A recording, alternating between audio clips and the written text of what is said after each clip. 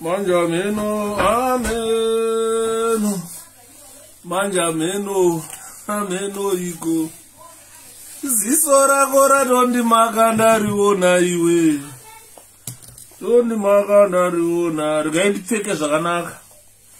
Ziso rako ratondimaka ndariona iwe.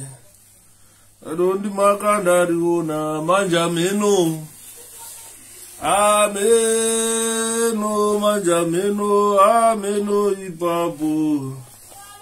Manjameno ameno manjameno meno ipapo.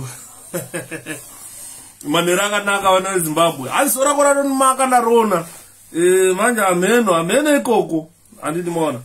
E, nangotikurukure shomanini about our traditional chieftains traditional chiefs what is it? What is the traditional chiefs? What is it? Andimona pane here munhu ane kodzero yekuthreatena chief like what we have seen uh, one of uh, zimbabwe generals uh, chiwenga threatening chiefs. Mugabe uh, tried it. Thumbs up. Zviri kudini uh, vanhu vakuru? Eh, mukoma sem zviri kufamba here mukoma mano zviri kudini?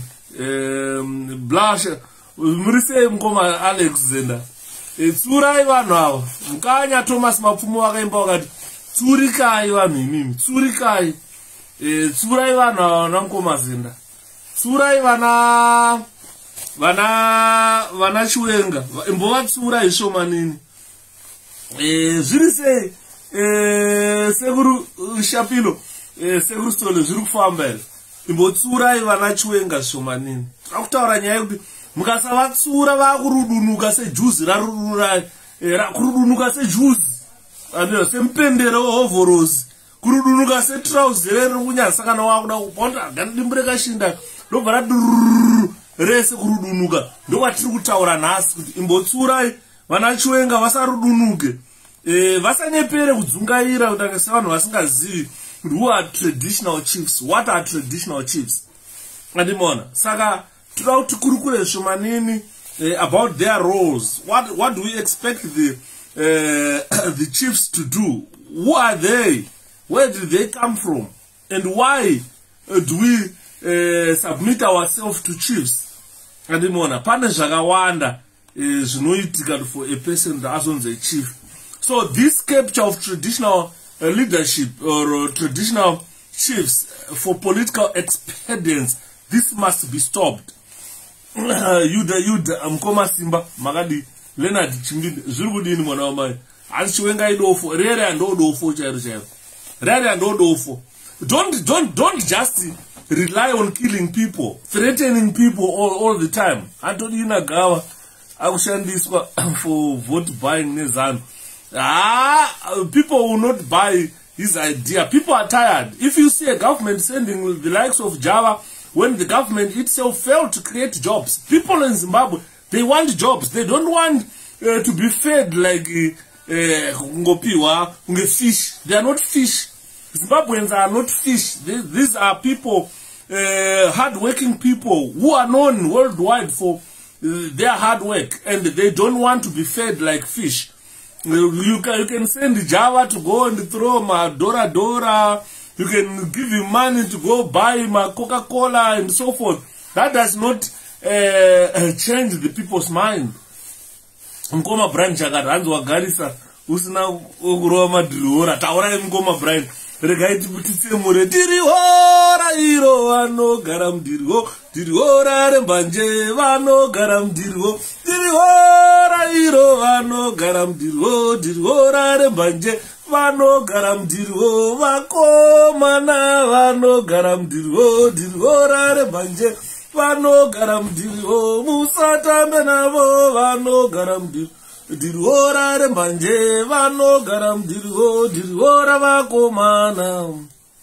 ona dirihora rembanje vanogara iro dirihora iro vanogara mudirwo dirihora rembanje vanogara mudirwo vakomana vanogara mudirwo dirihora rembanje vanogara mudirwo musatambe navo vanogara mudirwo dirwo rarembanje vanogara mudirwo dirwo ravakomana. Oda dirwo rarembanje iro dirwo rairo. Dirwo rarembanje vanogara mudirwo vakomana vanogara mudirwo dirwo rarembanje good evening ladies and gentlemen. Manhero akanaka kota past 9 eh, toda kutaura nyaya dzechieftainship nyaya yatiri kutaura panapa takataura nezuro uh, about uh, similarities between uh, zimbabwe and rhodesian government so there, we saw that everything that zimbabwe government is doing is a duplication of what the Rhodesians were doing uh, to our country, which led Zimbabweans to take up arms against uh, a Rhodesian minority government. So we have created another minority government uh, in form of ZANU-PF. This is a minority government uh, that does not respect the will of the people, the will of Zimbabweans. This is why even Ian Smith said he is not going to, he is not an advocate of one man, one vote. As a result, he did not want uh, uh, Zimbabwe uh, to, to attain independence. That was Ian Smith, similar to what E.D. Munanga was doing, similar exactly to what Mugabe did. So we, uh, we are seeing a government, we are witnessing a, a tyranny which is a duplication of uh, a, a Rhodesian government. So what are traditional chiefs? A long time, uh, atete rashi zviri kufamba sei ah, it's not long time The problem is people do not listen when I'm talking. I have been doing live on Facebook, but on a different account. This account was blocked at Rashi. This account was blocked, so I couldn't write a message to the people to say, audience, please, I'm so sorry. I've been blocked because I couldn't do anything on this account uh, uh, to the for 30 days until 17th of December.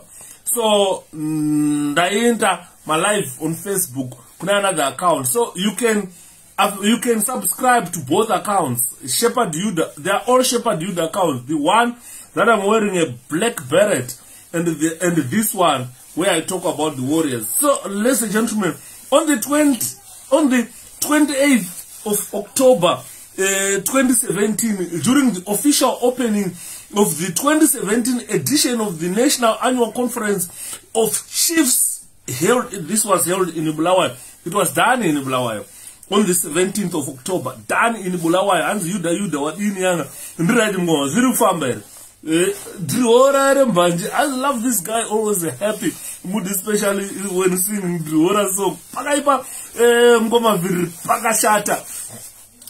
So we are looking on the, uh, uh, on the 28th of uh, October uh, 2017 there was a conference held for chiefs in Bulawayo, Zimbabwe. The president uh, of the Chiefs Council, we all know him, Chief Charumbira, announced his endorsement and support for President uh, Gabriel Robert Mugabe's candidature in 2018 polls. You still remember that. You must remember that.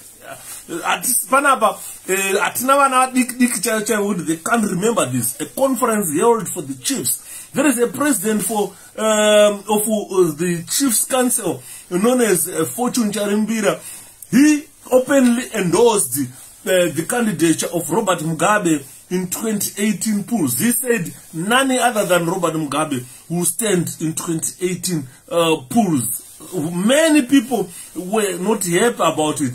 It incensed a lot of people with this kind of behavior. This behavior um, displayed by chiefs, uh, people who are not supposed uh, to be politically affiliated whatsoever. Chiefs are people who are not supposed to be politically affiliated. So this was an oversight uh, by uh, Fortune Charimbira as president of the Chiefs Council in Zimbabwe on the 17th of October 2017 at a conference in Bulawayo. He openly endorsed the candidature of Robert Gabriel Mugabe 2018 elections. Akati hakuna mwe achapinda ndimugabe chete. Ah, pakaipa. Trader Msembo anziuda kuti ndakasimba eh, ngoma munashe mondoro zviri kuti ase I salute you guys. Ndokudai mese I love you all. I love you all. Uh, incoming call. Uh, let me see. Hello? Hello? Yes? It's working now. It's working now. Yeah, it's working now. Oh, well done, boy. So you are now connected. Yeah, I'm connected now. Oh, thanks. I'm live on Facebook. I'll talk to you later then. Sorry. Cheers. Bye-bye. Bye-bye. tongai hanzi machona zviri kufamba rimwe namai chikara chikara chezanhu zviri kudini? Zvinoita kutapira ladies and gentlemen ndaisa nhamba dzefoni. So ndati those people who might want who are interested in discussing this topic you might call you might ask to be added. So i've added the number of phone. Phone iyi yamuri kuona ine nhamba dzaiswapo is an activation of my old phone. Because ndakandisichakwanise kuita malive on facebook. I couldn't do anything. But someone in america i'm not going to say her name but she sent me 100 pounds to make sure that i set up uh, things. Then i go back to normal. So things are like gone back to normal. It's someone's effort. 100 pounds sent kuti ite back on, on, a, on, a, on, a, on air. But everything had stopped. Ndafara hangu kuti kune vamwe vanhu vari kuzvipira for us to continue doing this work. Saka muchiona tichitaura tichiti weki yatoitai varume? E, kune vamwe vanenge vachitoitora zviri serious kumake sure kuti we spread the word.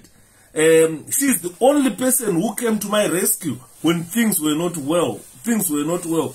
Ah, rodi zviri sei?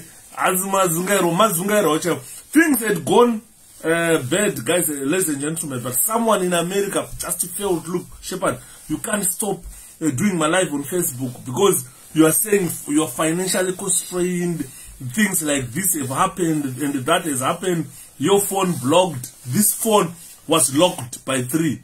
This phone was locked by three network. I couldn't go live on facebook. Even kuisakara pa wifi yanga isichabati and wifi yacho ndandabvisa i was being charged a lot of money nesky news. Saka everything had stopped. But hey someone uh, with a light heart said no no no no you can't uh, move away uh, shepherd we want uh, this work to continue uh, probably until 2023 uh, tichiparidza vhangeri nai saka muri kuona nhasi tauya tichitaura kuti after that conference yakaitwa 2017 where chief charumbira who was the president of uh, uh, chiefs council clearly or openly endorsed the candidature of robert gabriel mugabe. This did not go down well with people of zimbabwe many people were incensed with this kind of behavior displayed by the president of chiefs. You understand? Uh, people who are not chiefs are not supposed uh, to be politically affiliated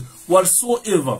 It is because of this uncalled for behavior uh, that the prime minister uh, called for behavior that the then prime minister uh, richard morgan changirai once uh, decried uh, or cried uh, over charumbira's decision to endorse robert gabriel mugabe. We still remember when president uh, president uh, the, our president our late icon president richard morgan changirai when he came open he condemned uh, the behavior of fortune charumbira uh, because fortune charumbira had endorsed the candidature of robert mugabe in 2018 yet they are supposed to be political uh, they are supposed to be apolitical chiefs are supposed to be apolitical and also the fact that it is unconstitutional uh, for chiefs to behave in the manner that charumbira did. This matter of chiefs being uploaded to defy the constitution uh, to defy the constitution has not started now. It is once ordered um, it was it is once ordered traditional leaders to play. We, we, we still remember about uh, douglas nikaramba general nikaramba who once ordered traditional leaders to play a leading role in ensuring that robert gabriel mugabe wins the 2018 election. Instead of such actions uh, to be being condemned by the government it is sort of rewarding uh, the government reward such type of behavior as exemplified uh, by the then minister of uh, uh, local government Saviors uh, Kasukwere who after Charumbira's declaration reaffirmed government's commitment in improving the welfare of traditional chiefs, saying new vehicles were soon to be handed over to the chiefs, uh, the chiefs in Harare. Similarly, we have seen it happening again, new vehicles uh, being uh, put aside for chiefs because of this bad behavior. Hanzi viva yuda viva nebasa. Ndotenda chikara ngoma ita zviri kufamba. So you see that the behavior that charumbira uh, uh, uh, revealed it is rewarded by government. Instead of the government to condemn them uh, that look you are traditional chiefs. You, you, you, all political parties must be under traditional chiefs traditional chiefs must not be the one who are seen as saying this is a bad political party, that is a bad political party. Look at what happens in the United Kingdom, where there is this chieftainship reigning in this country. Queen Elizabeth, no matter what political party wins the election, Queen Elizabeth vanoramba varipo hakuna anovabvisa saka you find kuti that similar setup is similar to what we have in zimbabwe traditional chiefs no one should ever tamper with them ZANU-PF, it's wrong, it's unconstitutional for ZANU-PF to try to whip them in line so that they can support ZANU-PF. They are not obliged to do that because they are traditional chiefs. In their constitutional, in their uh, uh, colonies, they have got people of, of different political, political affiliation. So they must not be seen as uh, uh traditional pawns. Judging by unfolding of such events, it has become vivid that the ruling party has realized just how much chiefs are vital cog in ZANU-PF electioneering uh, machinery.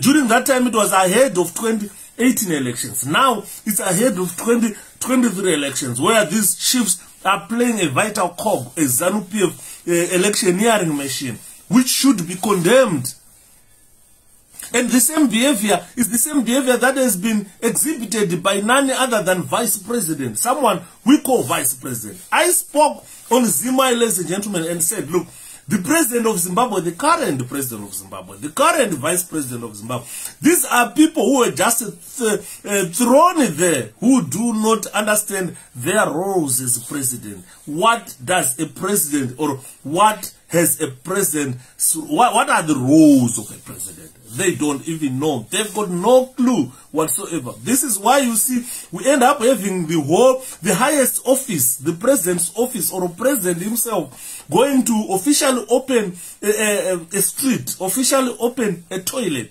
officially open a, a skippy bin, officially opening a mortuary because they don't know their roles as president. president and vice president gogoana tazvisi hanzi mukoma shapiro madii haamurinye uyo boyere akataura mashoko akanaka chaizvo parufu but haa nhasi andibata pakuti he campaigned for zanu pf this is why why why I, I, people requested for this presentation to say can you look into the roles of chief shepherd?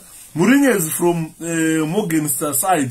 Charumbira is from gutu. So there are i think some people is it bangwai tawanda rusere anyway zviri kufamba here so they, they played um, hanzi mudhara chikanza muri sei sei eh, mabasa mwana wamudhara zviri kufamba.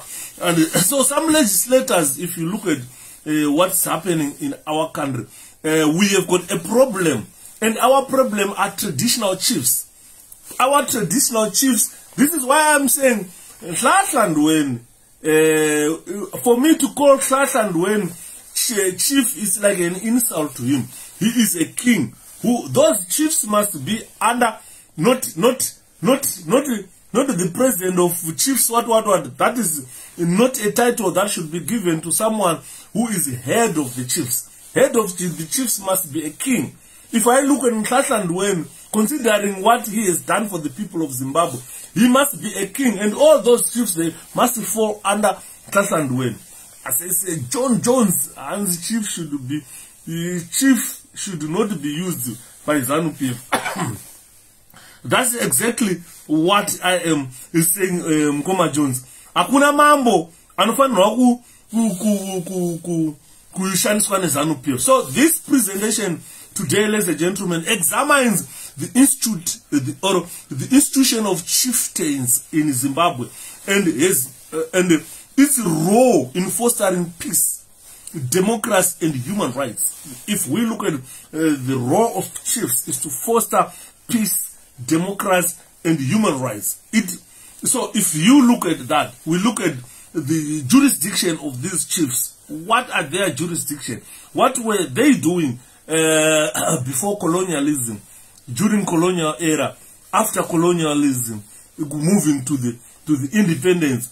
Uh, because if you look the colonial, post-colonial governments, they also touched this issue of chieftains in our politics. So what was it like in pre-colonial Zimbabwe?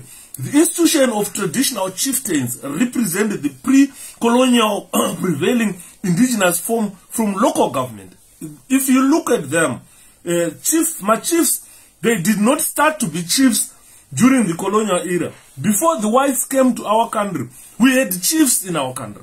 Zimbabwe had chiefdoms, chieftains, vana nemapockets kuziva kuti mambo munhu mutapa mambo dande mambo mbire mambo ndweni mambo mutema those madzimambo havana kutanga kuvepo panguva yechi yevapanduki kana panguva yekuuya kwevanhu vachena aa mamambo vagara varipo vaitozikanwa kunzi ukabuda munomu wapinda mubhuku ramambo ndweni ukabuda mu wapinda mubhuku ramambo mutema. Ukabuda mu wapinda mubhuku ramambo chundu zvaitozikanwa. Hanzi yo jaketi rese iro mugoma yuda takuwara nezuva pakapa. Ah, vakomana zvenyimi muri pakapa muri kuwara nezuva. Isi kuno takuwara nechando takatoda kuzvipomba kuti nyatsodzigwa because kunoku ah, tiri kutonora saka you find uh, that the institution originally provided societal political and economic religious economic and religious functions to local communities. If you look back at uh, before the pre uh, colonial era uh, the chief the chiefs what were they doing? They were providing um, po they were providing social uh, political economic and religious functions. Uh, it was done by the chiefs before the whites came so the term chief uh, ishe or vashe in shona and in duna in ndebele in duna in ndebele um, in ndebele refers to an individual who by virtue of ancestors i want you to tag uh, chiwenga on this presentation. Chiwenga must understand something must copy something from this presentation. It's a very educative and very important presentation. Induna in ndebele ishero vashe in, in, in shona eh, munhu ainzi mambo eh, munhu ainzi mambo munhu is an individual who by virtue of ancestors occupies a clearly defined leadership position by virtue of ancestors not by virtue of government not by virtue of uh, constantino chiwenga not by virtue of emerson dambudzo munangango batai ipapo why do zanupf want to own machief ndo pane hondo yese. Ndosaka muri kuona zimbabwe isiri a peaceful country. This is why muchiona zimbabwe yaparara. Kuparara kwayakaita because chiefs are not doing their jobs. The government is interfering too much with the issue of chieftains which should know which should, should, should be the reverse of it. So for a person to be appointed a chief you are not appointed by the government. No no no. This has got a spiritual connection ancestors uh, there's ancestral co connection spiritual connection. Because a chief is an individual who by virtue of ancestors occupies a clearly defined leadership position in an area. Haupiwi ushe nehurumende. Ushe haupiwi eh, nekuti unogona kutaura chirungu. Haupiwi ushe nekuti unogona kunyora. Haupiwi ushe nekuti une, une, une mukadzi mukobvu. Haupiwi ushe nekuti une kamukadzi kakaonda kari kutorwa nemhepo. Hazvisi zvinopira ushe izvozvo ushe haupiwi kuti unopfeka saisitworufu yebhutsu but ushe hunopiwa nemaancestors because you need to occupy a position of, of spiritual role ande muri kuona traditionally chiefs were installed by the most senior headmen in the area in consultation with the spirit mediums of the chiefdom vekwachundu ndakambotaura gore rimwe dai makateerera zvandaitaura kuti ukaenda kwachundu kwaive nevainzi vachimombe ndo rakanga iri mhondoro yenzvimbo yekwachundu kana vachimombe vataura kuti shepard yudha ngaaite mambo ndaiita mambo. Hanzi no yudha chief murinye atamba ngoma chaiyo paye. That chief knows what is doing. He shows he is not a weak chief murume uye truly. Yes I, I, I, I, I agree i concur uh, with that line of thinking mkoma itai. Andisi kuti adispute because he played his role as a chief. This is why i am saying he, that is the role of a chief. That is the role of a chief. Andiri kutaura panapa and i think dai all the chiefs vabatana namurinye and fight zanup f government ndarwadziwa guvheya achipa warning kumachiefs atete valley ndo zvaita ndiwe live on facebook. Vanhu vanditaura kuti shepard imbotarisa what were the roles of chiefs what are chiefs supposed to do? He, he had right message to the government. Ataura akati mukaenda kusouth africa. Munoona masouth africans vakabereka mabeg eyes vachienda 9 kilometers underground kunochera madiamonds. Kuzimbabwe diamond raicherwa nebadza. Ndaiseka sekuru vangu ndogara ndichikutaurirai ndina sekuru vangu vari kwamarange vakabviswa imba yavo yakabviswa. Pachibhorani chavo pavaichera imagine. Pakacherwa mugodhi kumusha kwamarange uku. Pavakachera mugodhi sekuru. Matombo avaichera vachiburisa mugodhi wavo vachikanda panze vachichera vachienda deep down vachibudisa panze. Pakasvika matombo iwayo ese akatorwa zvikanzi pane mazikaratsi ediamonds akanga aripo ipapo sekuru vangu for the rest of his life vari mukomana vaigara pamusha ipapo vaichera madiamonds vachichera kutsvaga mvura vaichera madiamonds vachibudisa panze vachirasa madiamonds. Vachichera mvura yekunwa pakazoya vanhu vakazovaratidza kati aiwa matombo amakaburisa muchirasa panze. Madiamonds andiri kuona. Dzakachema misodzi soti wi wi nanhasi hadzina kana gumbezi rekufuga. Dzakabva dzamuvhwa dzikanzibva pano pane madiamonds da kuchera hanzi gidi hanzi iro gidi. Roda kumbo kutombobatwa mukoma yudha e, ndo kwazviri kuenda ikoko. Because if you listen to what i said yesterday uh, i spoke a lot about similarities between zimbabwe government and the rhodesia government.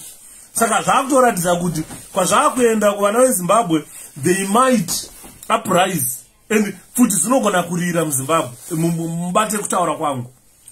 Handisi kuprofita asi ndiri kutaura zviri kuuya kumberi uku.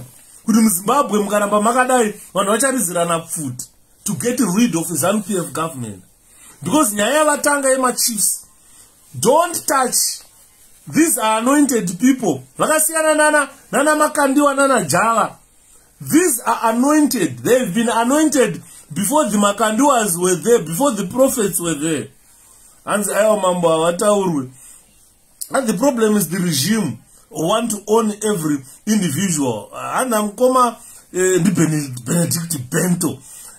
Ncue uh, hanzi just to take you away from what you are talking about. Uh, could you advise your part to go on poland and request one thing one thing only poland. What is that? go to poland have agreement with the zan to allow observers on our 2023 elections. This is the only options for the opposition part.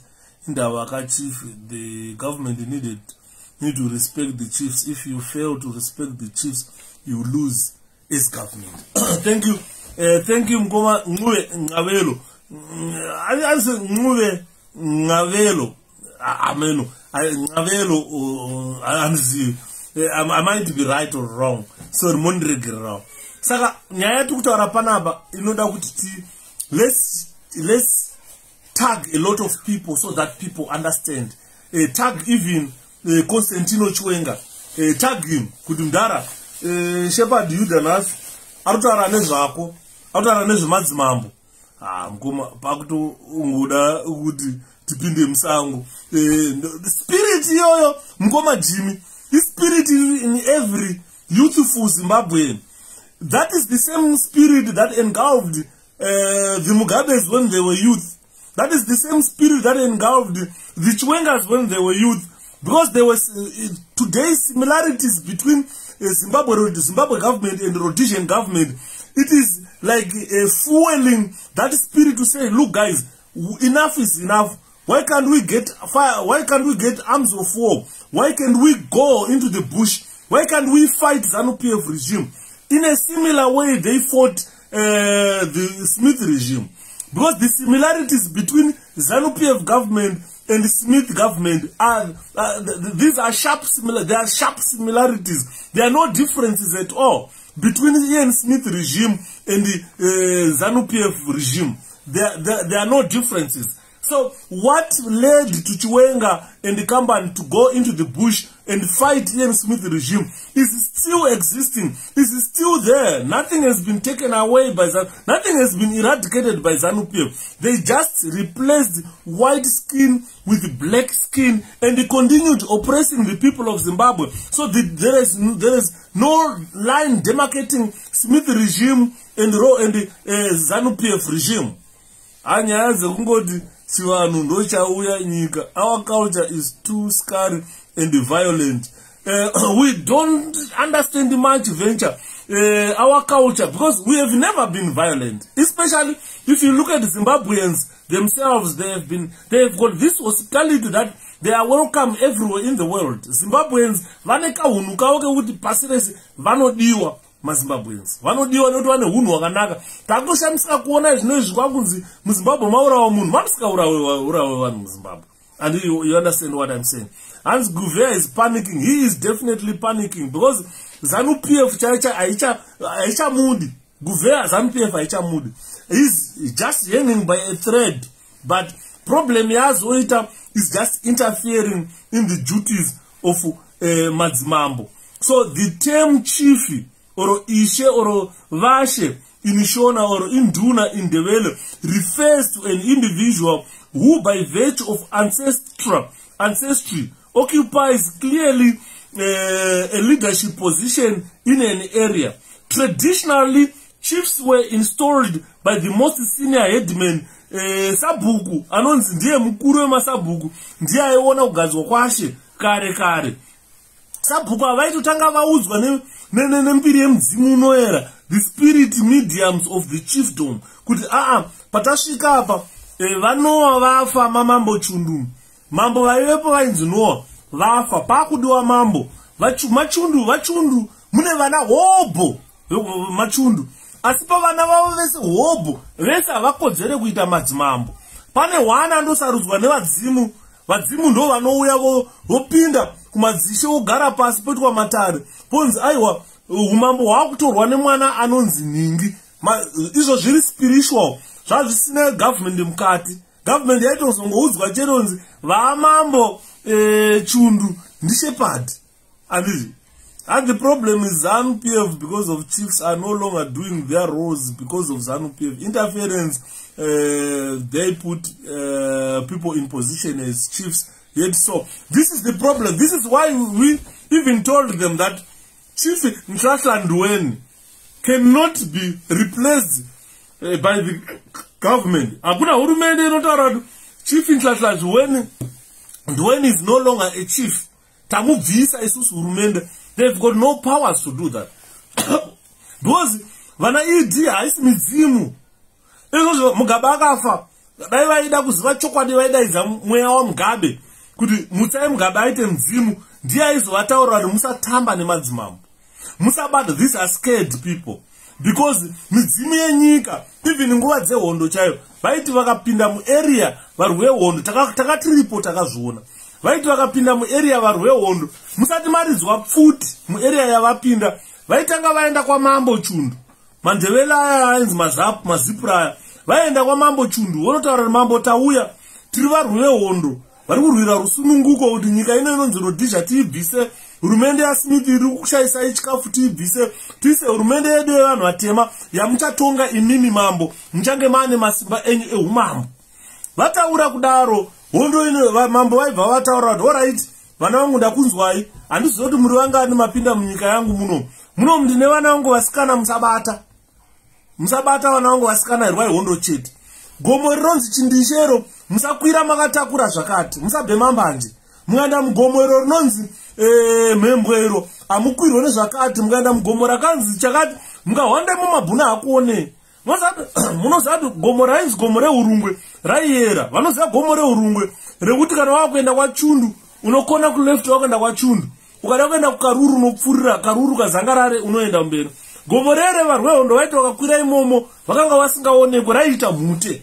Mabhuna aiti akasvika paipa vatsvaga varwehondo vari mugomo reurungwe igomo diki diki raiita mhute vakanga vasingaoneke kuburikidza nemadzimambo ndo vaitaura e, nemudzimu yavo kuti vana vauya chengetai vana. And vana vasvika vaitoitawo kadoro kwavanobikirwa votoombererwa vachinzi e, vana vauya. Handi muri kunzwa saka zvakawanda zvinhu zvinoitwa nemachiefs zvokuti constantino chiwenga anofanira kuzviziva kana ari atrained golira. Even in mozambique vaienda kumadzimambo. Vaito kumadzimambo ndo vaitovaudza kuti vana vangu eh, hondo yamai yakuzotanga ihombe. Endai panganga inonzi mingiri pakati. Munotata tumwa namambo chundu. Nemudzimu zvinenge zvakakonektana vachisvika vanobva vatanga kunzwa kuti takutema nyora takuita zvakati takuvigai musazoita musikanzwa yakati yakati. Ukaona vanhu vazhinji vakapfurwa vakafa nguva dzehondo vazhinji vacho vainge vakutyora even mitemo yavaiudzwa nemadzimambo hanzi mugabe was bad in his capacity but he respected madzimambo noti zvachiwenga chiwenga is panicking. I think he has uh, uh, uh, pressed that uh, panic button. Rekuti ameno kuti zvomira sei. Manje ameno amen. Ikoko ameno ameno ikoko. Hanzi encourage the chiefs to stand up for their rights values and respect. This is what we, we are trying to do uh, mkoma ncoyo thank you so much. Because uh, chiefs must be put in their position. The government must not interfere with the chieftains hanzi pahistory vanzi mukoma chapiro muri chibaba uh, thanks uh, mukoma ed uh, tinonge taresearcha kutipe vanhu the correct information. So if you look at traditionally chiefs were installed ne the most senior uh, the most senior headman in that area in consultation with the uh, spirit mediums of the chiefdom. The medium acted as the voice of the ancestors in the war process. Ande muri kunzwa in the whole process. Waito munhu aibudirwa nedzimu e, nemhondoro yenyika. Waiti ndogara ndichikutaurira kuti waiti ukaenda kwachundu. Waitanga kunzwa munhu ainzi friday chisanyu. Waigona kunzwa munhu anonzi friday chibende e, vakazomuiti in'anga in'anga yakanga iri mhondoro yenzvimbo iyoyo akatanga kubudirwa nespirit medium yemuarea yemunzvimbo yemamambo chundu ari kuchikoro friday kuma8 years 9 years ari mwana wechikoro haana kuzotomboenda kana kuchikoro kana kudzidza muri kunzwa ainzi friday chisanyu vanoziva friday chisanyu kana vaiziva ainzi kabende vamwe vaimuziva vachiti sekuru friday sekuru kabende aigara mukaro ime makazobva akatorwa nemadhara egavhumendi vamwe akanga kugara kuharare akafa gore rino goro early this year necovid. Hazivauze mambo yudha eh, munoziva bhuru. Kuzama kuda kuvagadzirisa eh, mkomaitai kuti vana chiwenga vaakutambararamiswe kana maakutambararamiswe this spirit spirit uh, this ancestral spirits vanogura muswe vanokugura muswe ndosaka uchiona muzimbabwe tikagaragara ezvino izvi tiri kutaura nyaya dzekuti kune maprofita vaiti jehovha chichi vakapinda kumount darwin mugungwa rainzi rinoyera here vakafa vese vari 8 vachipinda mumwe nemumwe achiteera muprofita achifa imomo if they control machief like that what about judges in court? Ndo zvimwe zvinotorovesa hana. Ndosaka muri kuona even chiwenga paakaenda kukoti achinoroverera mary akapinda nekunopinda nako majudges. Kunopinda nako justice kwaipinda eh, munhu anonzi chiwenga. What does chiwenga knows about justice? Anditi muri kuona. Hanzi madzimambo nemasvikiro work hand in hand. Exactly. Madzimambo nemasvikiro vanoshanda pamwe chete. Nekuti mambo kuti azogadzwa zvinenge zvabva kumasvikiro masvikiro ndo anotaura kuti ningi ndiye akakodzera kuita mambo. Takaona ningi ane ane utongi kana ndiye anokodzera zvino anogadzwa nemasvikiro vamainzwa vainzi achimombe kurungwe vaivai ndo vaiuya votaura kuti mambo ari panapa anonzi mambo noa. Waiti ukaona kuti mambo uyu munhu ndimambo akagadzwa nemasvikiro waiona kana nemafiro anoita e, vanoziva madzimambo kana vofa e, ndakaona mambo chundu achifa taingoudzwa handina kumuona but takaudzwa kunzi mambo chundu vari kufa vari kurumwa nenda. Mambo anofa achirumwa nenda. Ndo rufu rwemadzimambo. Nguva yake inenge yakwana yekufa. Kana akufa anourawa nenda mambo. Mambo haangofi zvonzi mambo ado arohwa nemotikari. Mambo mujinga atsikwa nemotikari. E, mambo chanetsa vaisirwa poison vafa. Madzimambo anga asingafe nenzira iyoyo. Kana kutovigwa kwamambo kunoyera mambo anogona kufa nhasi motozozviziva after six months kuti mambo chundu vakafa mambo noa vakafa vakafa vachirumwa nenda. Vakazofa after unozvinzwa after six months bozanzi pane pavanombovigwa here vomboora here vombobviswa nzwara. Zvamunoona vachibviswa nzwara vaita sei? Vane mavigirwo avanoitwa vane zvavanobviswa kana vakunovigwa madzimambo haaiswe muzikofini zidende reya reya e, zikasiketi reblack riya. Unonzi mambo taakuenda naye kunomuviga uko mambo ari muzikasiketi vane mavigirwo avanoita. Vanovigwa zvinenge zvataurwa nembiri yemudzimu unoyera e, nzvimbo iyoyo e, kuti vachimombe vati e, mambo noa vafa mambo chundu vafa. Vanovigwa sei? Vane mavigirwo avanoita madzimambo. Vane magadzikirwo avanoitwa madzimambo. Haanongedzerwa nachiwenga kuti murinye uyo ndewatoda kuti aite mambo. Aiwa vedzinza rake maspirit mediums the, the, the, the, ancestors venzvimbo iyoyo ndo vanoziva kuti mambo oyo ndinhingi. Takazonzwa eh, chiwenga kuonyoka. Oziva kunonzi kubvaruka kutaura kuri kuita constantino chiwenga. Kuonyoka kubvaruka kutaura kwokuti anzi eh, munangagwa ndimunhu mutapa. Hakuna muzambiani munhu mutapa muzanyeperu. Handi muri kunzwa so its all about the ancestors uh, who decide the whole process of uh, uh, chief installations. The procedures or the procedure that is being followed or was being followed it meant to curb any possible dispute that might arise between the people. Because vanhu vemumusha imomo mumwe munhu anogona kuti because zvavaiita vanhu ava kudhara vaiti umambo hwemusha eh, mambo mambo kare aita vakadzi vakawanda aigona kuita vakadzi 5 vakadzi 10 mambo pa10 vakadzi oita vana 50 kuti uyu mukadzi obereka 10 obereka 10 obereka 10 saka zvavaita vaiti e, umambo kana huri mumusha umu e, ukabva hunonopinda mumusha uyo hobva hunopinda mumusha umu hobva vakadzi vamambo vese vaiwana ushe ndo zvavaifunga kudhara. But hazvisi ndizvo manje. Zvaitwa kudhara ndezvekuti vaitonogara pasi nemadzinza e, mweya wouya wobuda midzimu yobuda mhondoro dzouya paitoridzwa ngoma kubikwa doro rekuti panotwa pungwe vanhu vachitamba. Munogona ta pungwe pasina kana azunguzwa azunguzwa e, mwoyo wake e, nedzimu. Ndauya ndauya ndauya. Anditi bona kuri kumasotera kuimba hosana nditambire ndauya hosana nditambire ndauya hosana nditambire ndauya hosana nditambire ndauya. Anditona apa manje unenge riri dzimu rinenge rasvika dhara. Rino ho ho pana mumwe wese kugara pasi. Pochitanga kutaurwa matare emusha. Handi ndo panozotaurwa kunzi ari kugara umambo ndiani? Haupiwi nehurumende. Umambo haupiwi nemasoja. Haupiwi nepfuti.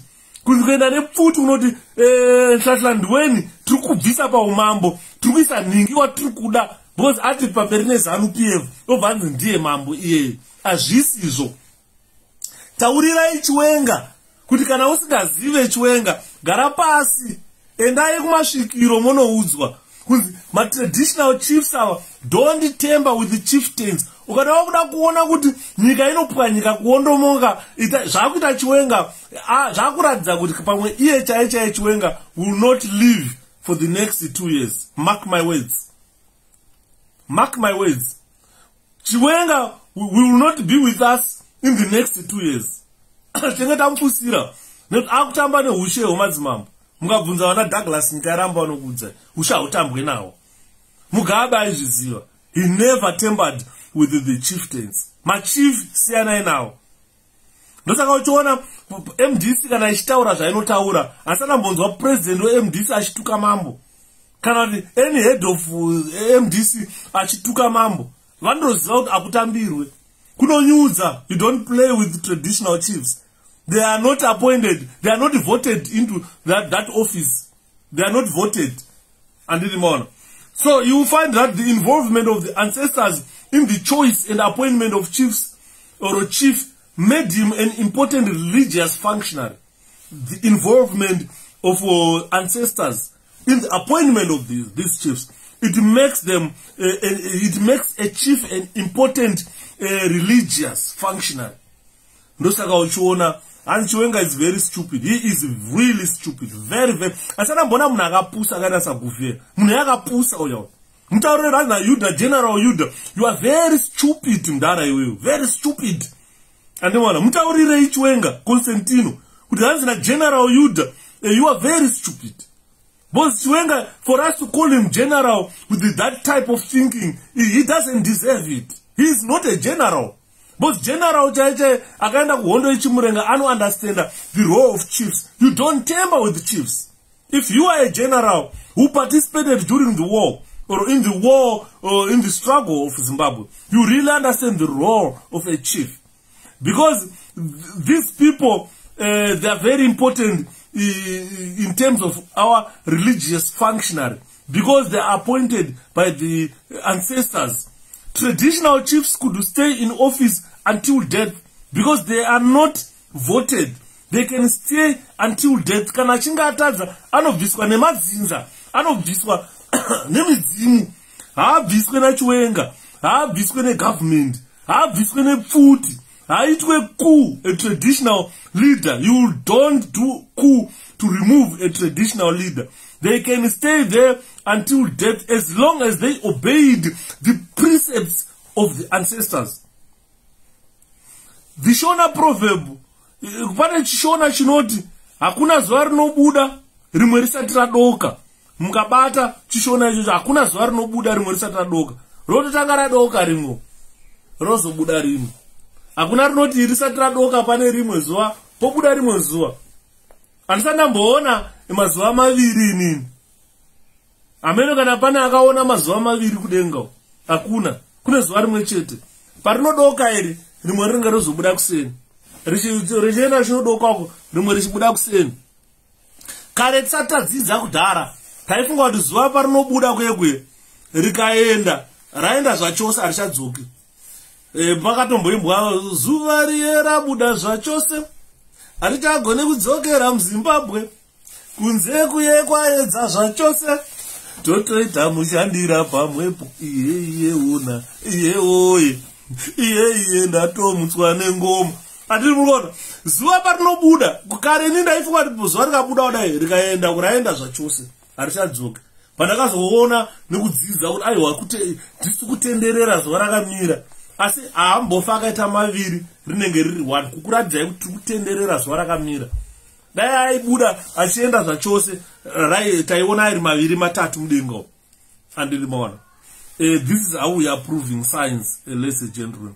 So what i'm saying is tag constantino chiwenga here and tell him gana general shepherd you are a very stupid person. You are foolish because you don't know the roles of a chief the same chiefs that the people who made this our war for liberation to succeed. And you have got no right to tamper with them. This is why i am describing chiwenga as a foolish leader. A foolish leader. Dai ndanga ndiri e, munangagwa inini ndina vice president anenge chiwenga ndaitobva ndatomubvisa. Mugabe akabva totaura zvikanzi handina kutadza kukwapoenda munangagwa kukuita vice wangu saka ndakutondogona kutokudonhedza nhasi chaiye achibva amudonhedza. Saka munhu akaita sachiwenga munhu anofanira kudonhedzwa nhasi chaiye because heis just foolish very stupid. Very stupid. Hakuna vice president akadaro asingazive the roles of, of, of a traditional leader. Hapana asingazive maroles of a traditional leader or matraditional leaders andimona so there, there is only one sun ladies and gentlemen that rises before the other one uh, the other one has set implies that the chief could not be de deposed as long as he had the backing of the ancestors. You cannot remove a chief. You cannot depose a chief unless that chief loses the favors of the ancestors.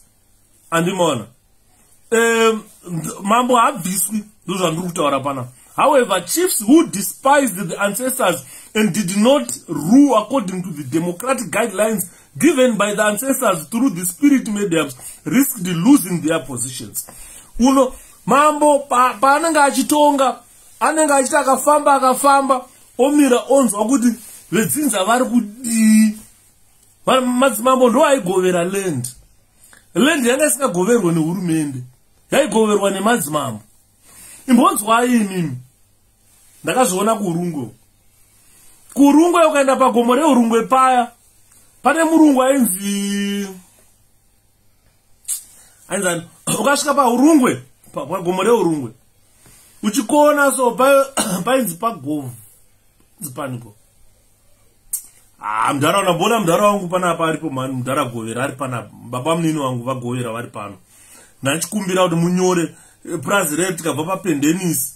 Eh, takuenda ten off yekuti tosiya tikaruru takukona kuenda kumusha kwachundu eh, pane prazi riapa rainzi rekwa rainzi rekwaniko ainzi ani kumurungu yegovan not govan man. Something of that sort ndakukanganwa zita racho murungu iyeye every year aibika doro. Aitenga machira emudzimu pairizwa ngoma achienda pagomo reurungu achinopira paya murungu wandiri kutaura nezvake. Urungu yese paiti pakarimwa kana ukanzi kwaita drought murungu yanga asingaite drought papurazi pake aitorima aitokohwa chete. Painzi pani ukangokona ipapo ukafamba famba pane shopu iri apa wopfuura woenda kumushowe. Ndakaona kuti painzi pani famu yacho. Airima murungu usati wasvikaona landasted kuyako aiita chivanhu achitenga machira achibika doro madzimambo vachiuya achipira mudzimu yevanhu vatema. Yevanhu vatema. Unoziva waiti ukapfuura e, pane munguva yemabhunu yayo nguva yehondo.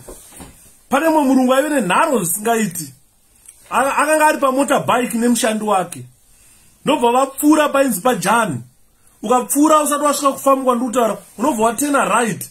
Wakutanga uri kuenda kunyangawo unosvika pashopu inonzi pajani uchingoti bvei pajani pane zvimutero zvinodzika zvinotendera zvinogonya gonya.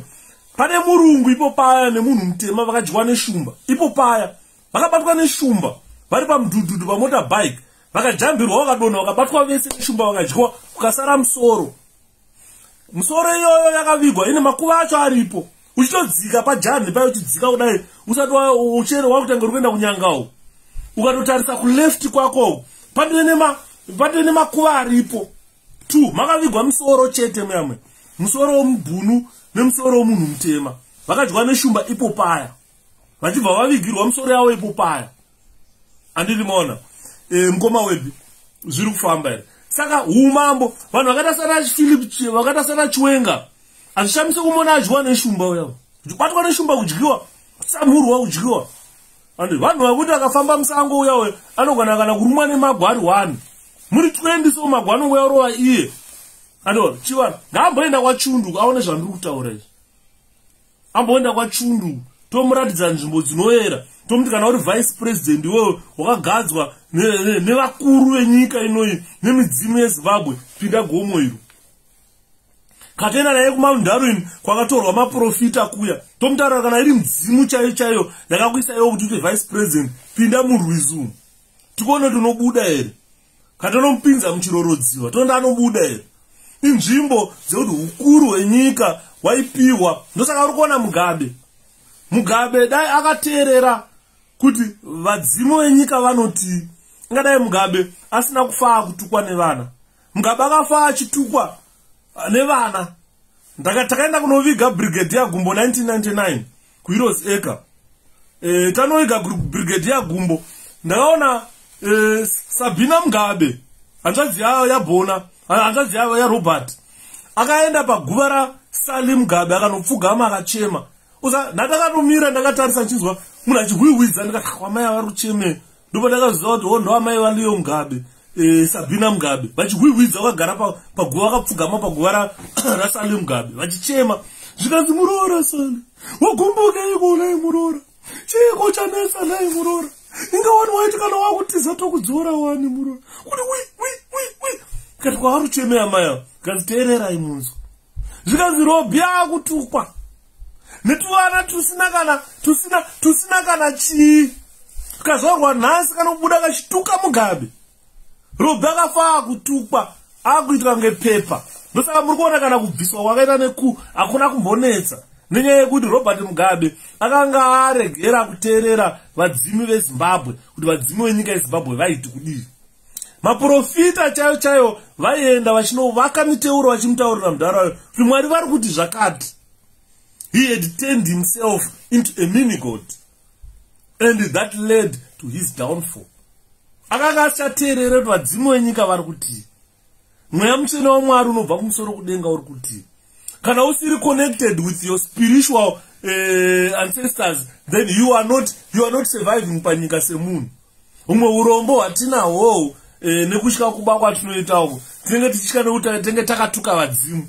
Dai tine vadzimu vakasimba vakanaka taenda taenda mabhanga. Mabhanga emunova nemari taenda kunobama tainoba tisingambosungwe hautiwo nhasi wodzidzira kuba mubhanga woba kana 5000 wobva watosungwa ipapo wotoenda kujeri unenge wakatuka vadzimu anditi maona saka nyaya yati kutaura ndeyekuti kugadzwa kwemadzimambo avagadzwe nehurumende vanogadzwa nevadzimu. Hurumende inozonga yakuzoita mabiko kuti pana pane pana mambo nhingi ndovaa mambo mujinga ndovaa mambo chanetsa ndovaa nematombo vanonzi vane matombo.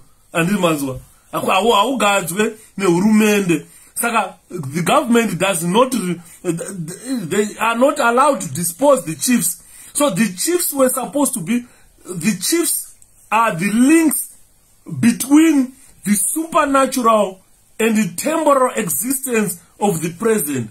They have got extensive religious powers that they that generate even fear uh, respect and ab, ab, absence from their subjects. Vane machiefs vane mapowers avanawo extensive religious powers that these people have because they were installed there by the ancestors. Mugabayityisa ndochokwadi ichocho mugabayityisa aityisa mugabe because akanga akaiswa nemweya muchena wamwari akanga akaiswa nemadzinza iwaya because kare vaiti kana vachinamata vakuru vedu avo ndosaka uchionha iye zvinezvi kumasowe pane vamwe vanhu vaangotuka madzinza. Madzinza anga asingabvumirwe kutukwa. Nekuti vaitika ndo vakanga vari macustodians of the, this, this, this world. Vachiti kana vaakunamata e, vakaita bute ravo vakabika doro ravo vakatamba ngoma vopedza vapedza zvese vobva vanzi tisvisirewo kuna musiki kuna mwari baba. Ndo vainzi musiki aitaurwa wacho ndimwari baba. Watiri kunamata nhasi ndiye aitaurwa nevadzimu vedu saka hatibvumirwi kana kutuka vadzimu vedu. Ukaona uchinamata uchituka midzimu hausati wadzidza kunamata hausati waziva kunamata. Usatuka midzimu yako. Nekuti midzimu iyoyo yakakuzvara kakura usati waziva kuti kuna mwari iwewe. Wakatanga kuzoziva mwari nekukura asi waichengetwa nemudzimu. Ndakaseka e, pane picture yandakaona kamwe kamwana kachifuridzirwa nambuya so kumagaro takafuridzirwa isusu taisengerwa. Vana mai vachitsenga zvinovava uchirurudzirwa mate nezvinovava. Hatina kukura tichirwa nemvura yemubiya hatina kukura tichinzi hiritititi tichibatwa musoro. Aa takakura tichitsengerwa woshama wosvipirwa mukamu womedzo zvinovava. Uchema because zvinhu zvairatidzwa kuvakuru vedu nemidzimu yavo kuti kana chadai so ichi shandisai ichi. Chadai so icho shandisai icho. Chadai so shandisai icho. Kuti zvifambe vana havakure kwakusina majeksoni epolio e, varungu vasati vauya.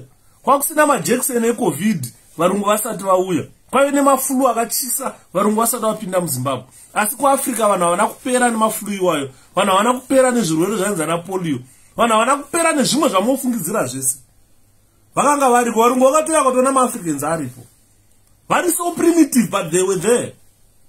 Andiriona saka zvaienderana nekuti muna mambo akaita sei ndiye anokukumbirirai kuvadzimu venyu kuti kana kune zvanetsa zvogadziriswa mudunhu saka mambo wedunhu iroro aitogadzwa nemidzimu. Akasikagadzwa nachiwenga. Mukanzwa chiwenga achiti he mambo wetu akuzomutonga kana tamuwana ari guilt mutauredi pfutseki chiwenga. Pfutseki mwanzwa chiwenga akati yamodi pfutseki manzwa haana simba rekutonga mambo. Haana simba rekugadza mambo. Andiri kuona midzimu yedu yakakosha. Usatuka midzimu yako.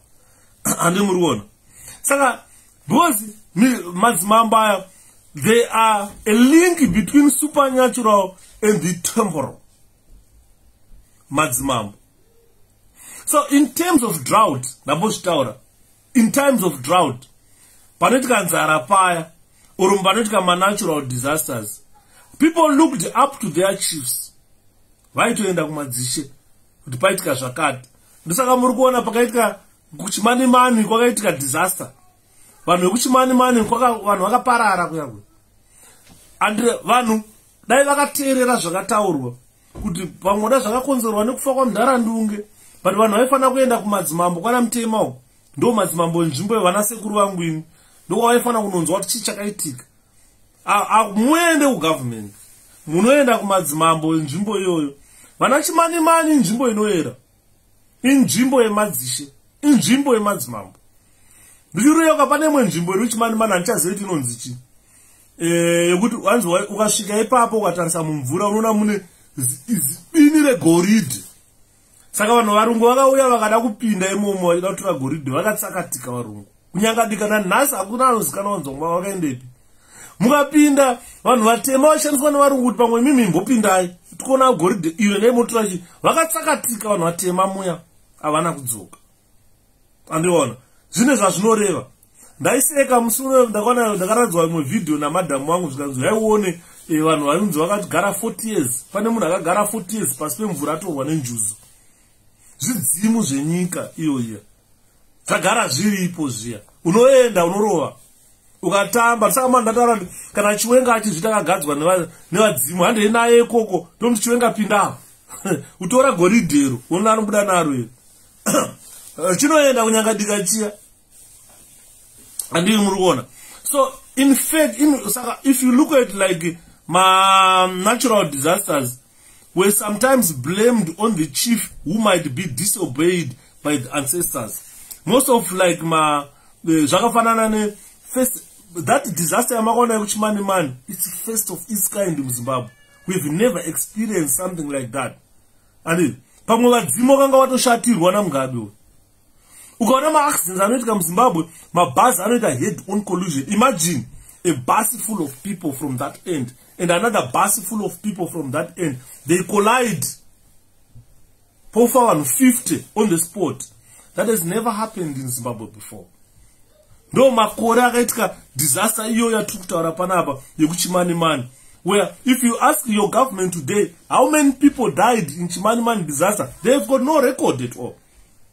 Five years or four years down the line the government cannot account for how many people died in that area they don't know they don't know how many people died. They've got no record of how many people died. Pamwe midzimu yakanga yatoshatirwa nezvaana eds nana musoro bhangu ana chiwenga ana mugabe kuti zvatakataurirana zve. Bhozi vana chimanimani kwakadhokwakarirwa hondo kumakomo kuya ukazava pati pati oyere hondo ayereye hondo ayere hondo ayereye hondo mikwidza kwidza hondo yataikwira hondo mapako pako hondo mataipinda hondo ayere ho ayaye hondo yo hondo saka izvo zviya zviya nzvimbo dzana chimanimani nzvimbo dzinoyera inzvimbo dzakarwiwa hondo zvinotyisa. Andii muri kuona. Saka zvinogona kuitika ndezvekuti eh, vadzimu vanogona kuva vakashatirwa vadzimu vanoshatirwa. Vadzimu the disobey. Vanhu vakaita sana chiwenga. Hakuna mudzimu unoteerera chiwenga. Chiwenga kana akafa habude mudzimu wenyika chiwenga uya zvakafanira nekuti mungataura kuti chinotimba akafa. Vanhu vekumhuri kwachinotimba waridza ngoma vachidzora mudzimu mudzimu dzoka. Vachidzora vachidzora mudzimu wachinotimba mumusha. Hakuna zvakadaro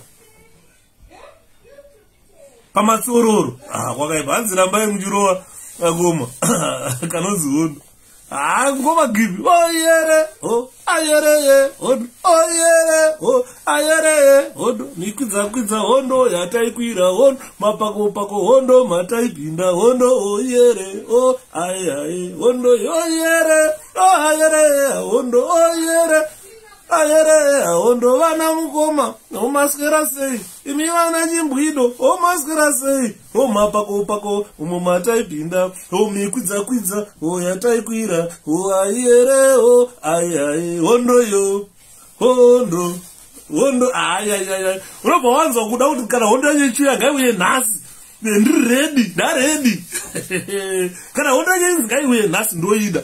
Andiri muri kunzwa ndipanosinga oyere oyere hondo mapako pako hondo mataiwanda hondo mikwidzakwidza iyo yataikwira oaiyere o airwiwe hondo. Yo hondo pakaipaka hanzi masipakakoma thanks mukoma gidi saka tiri kutaura kuti vadzimu vakashatirwa neutungamiriri hwenyika ndopamunoona nyika yakaita seyezimbabwe yaparara. Nyika yezimbabwe yaparadzwa midzimu yashatirwa mwari akatuma vaprofita kunotaura nemapurezidende enye yenyika vakatadza kuteerera vakatadza kunzwisisa. Ndosaka muri kuona zvaakuitika munyika yezimbabwe hazvisi normal. Inzvimbo nyika yezimbabwe inyika inoyera.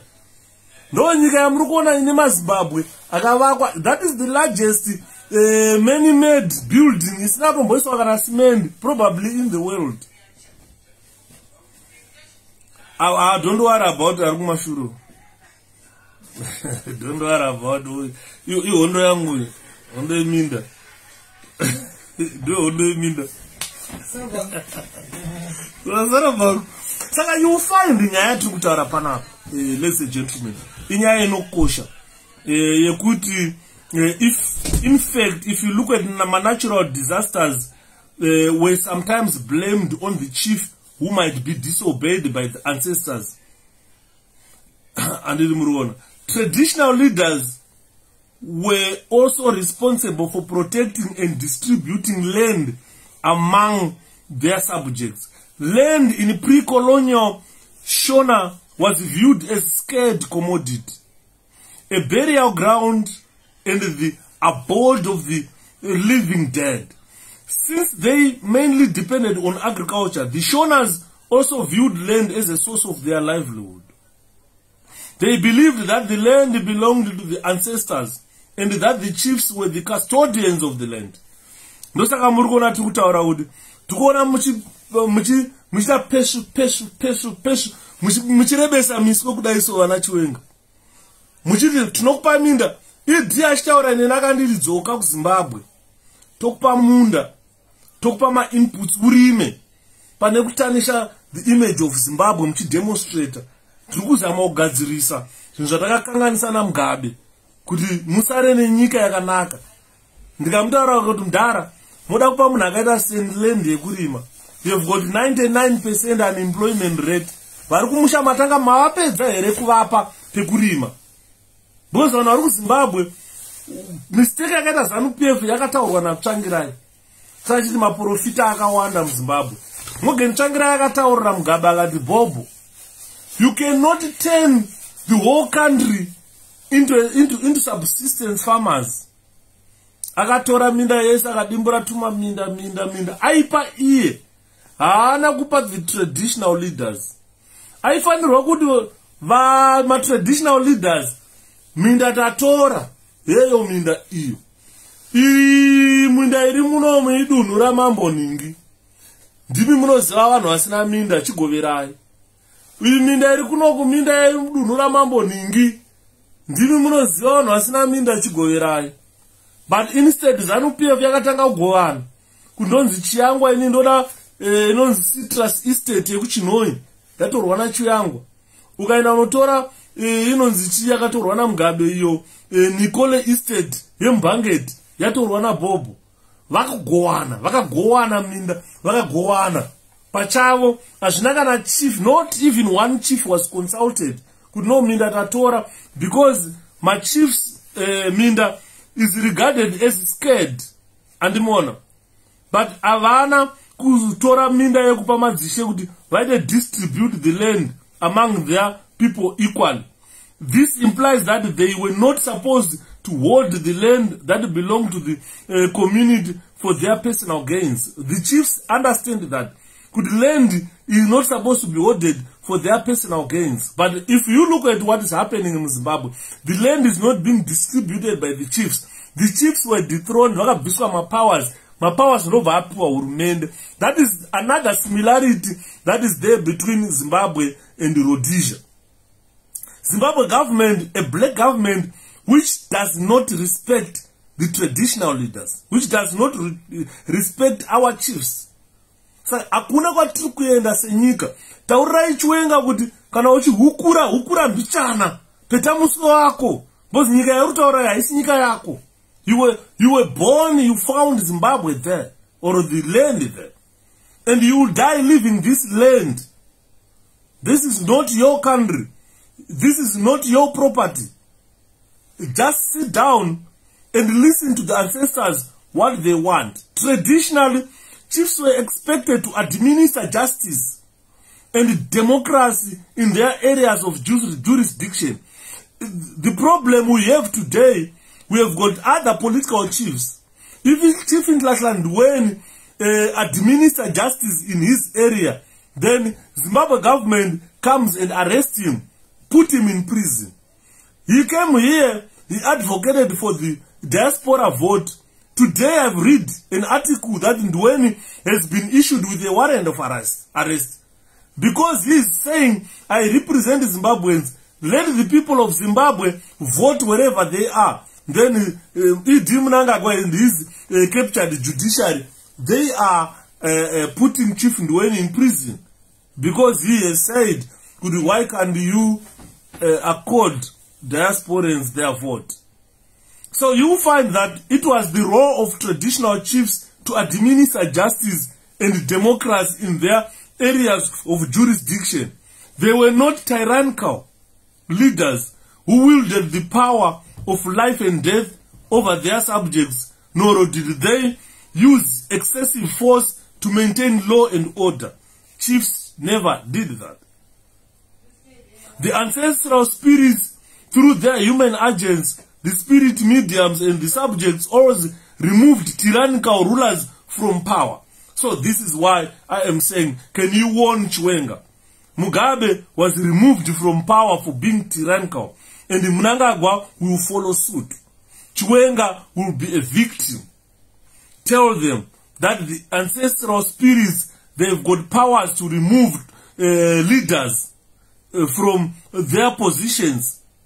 The tyrann tyrannical rulers like Chwenga, like Mnangagwa, they can be removed by the ancestral spirits. So, warn Chwenga, tell him, Mkomainist, zviri say, warn Chwenga and tell him regaindi ndisati tell tell him tell him according to chiwenga hana l in his dictionary.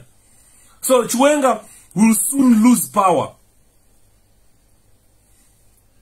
chiwenga will definitely lose power very soon. Because the ancestral spirits of zimbabwe are not happy. They are not happy at all. This is why you see even the spirits medium muzimbabwe Eh, kwete kwete wavo uya uya ronika uya wokudhiziri muchinoi uya uya hausi haasi spirit medium hausi muzimu uya. Wakadaidza vana vana david parirenyatwa vana sidin sekeramai vana mudharasa mukange kukwira navo mugomo ndopaziva kapaipai. E, vanhu vakamboenda kuchinoi kana pana vanhu vakamboenda kukaroi kana kulions den. Ukasvika pachinoi caves pane chikevhi chiripo pachinoi caves. Ukachipfuura chinoi caves chochiya uchitanga uri kuenda kulions den. Pane pakaita kuti flood plane so panorimwa uku neuku. Pane rodhi unotopfuura rodhi unoenda kulomagundi kulomagundi college wotofamba. Makoma unenge wakatarisana nawo pane gomo riri kuleft uchienda kulions den pane imba iri munyasi megomo so iri mugomo but iri nechepazasi. Ndopatakaona pachiflya maflags ezanup f vachiti paita dhiziri mudombo. Imagine so primitive people who think that purified diesel will come out of a rock. ndo vanhu vatiri kuita vatiri kupa kuti vatonge zimbabwe ndo vanhu vati kuti vakatarisa matraditional chiefs vanoda kushora matraditional chiefs.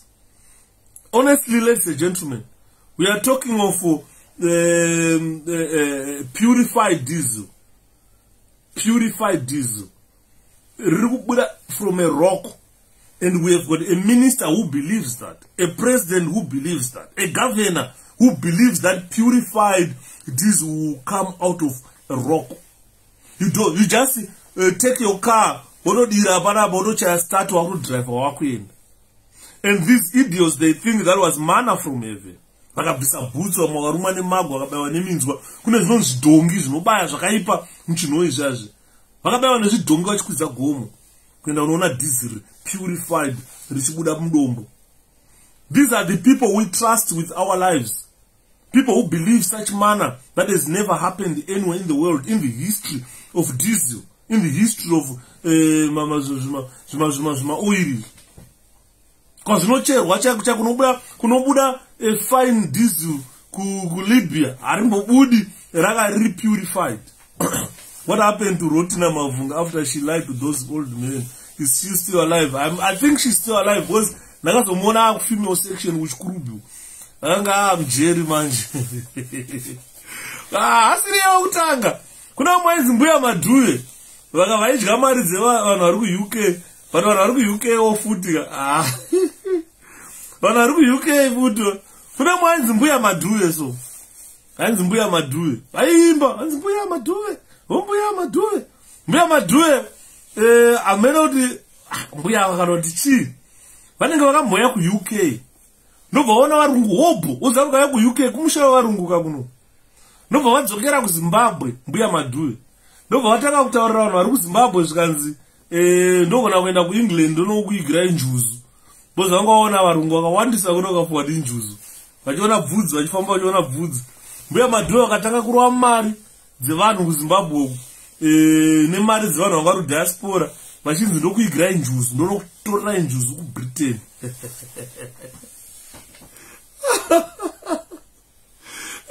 Diriwo rairo vanogara mudiriwo diriwo rarebanje vanogara mudiriwo vakomana vanogara mudiriwo diriwo rarembanje vanogara mudiriwo usatambe navo. Vanogara mudiriwo diriwo rarembanje vanogara mudiriwo diriwo ravakomana. Mbuya madhuve vakarova mari dzevanhu muzimbabwe. Vauya kuuk vaona varungu munomu vakadzokera kuzimbabwe zvikanzi britain kwakazara njuzu. Zvikanzi ndipei mari ndori kuigirai njuzu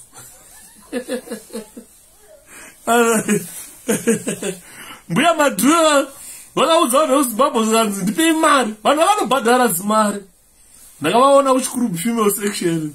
Ndikaoma nekuseka kati mbuya madhuya zvikanzi ha ah, yuda eh, munyika munomu hamuna vanhu vakachenjera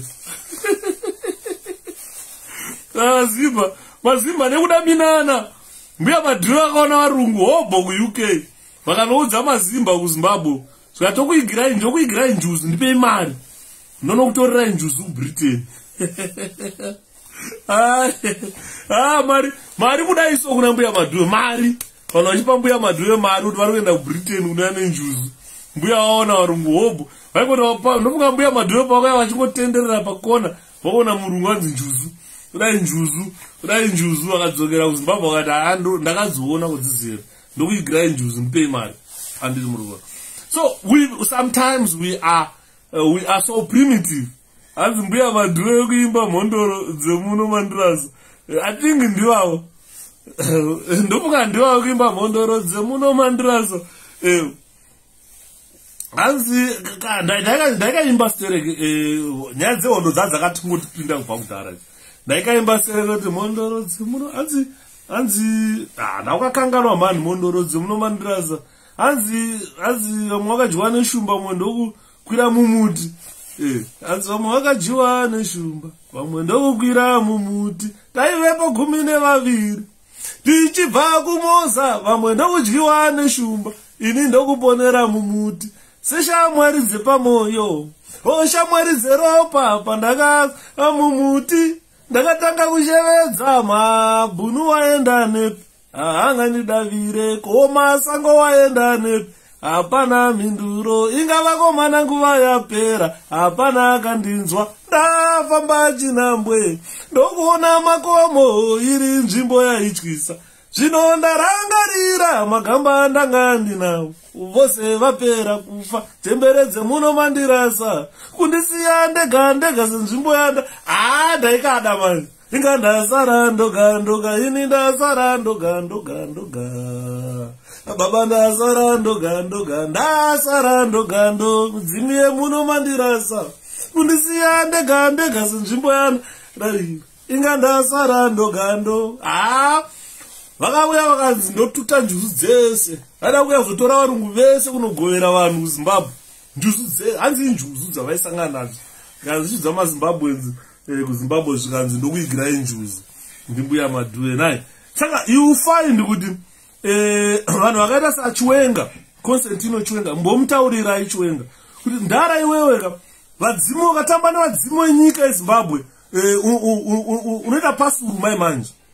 Unoenda kuchina urega kudzoka mungaba akaenda kusingapore haana kudzoka yakadzoka yapasuru tikazoenda takunoimba e, kuti e, e, nai hama waenda kudenga wega wega uende waifamba uchida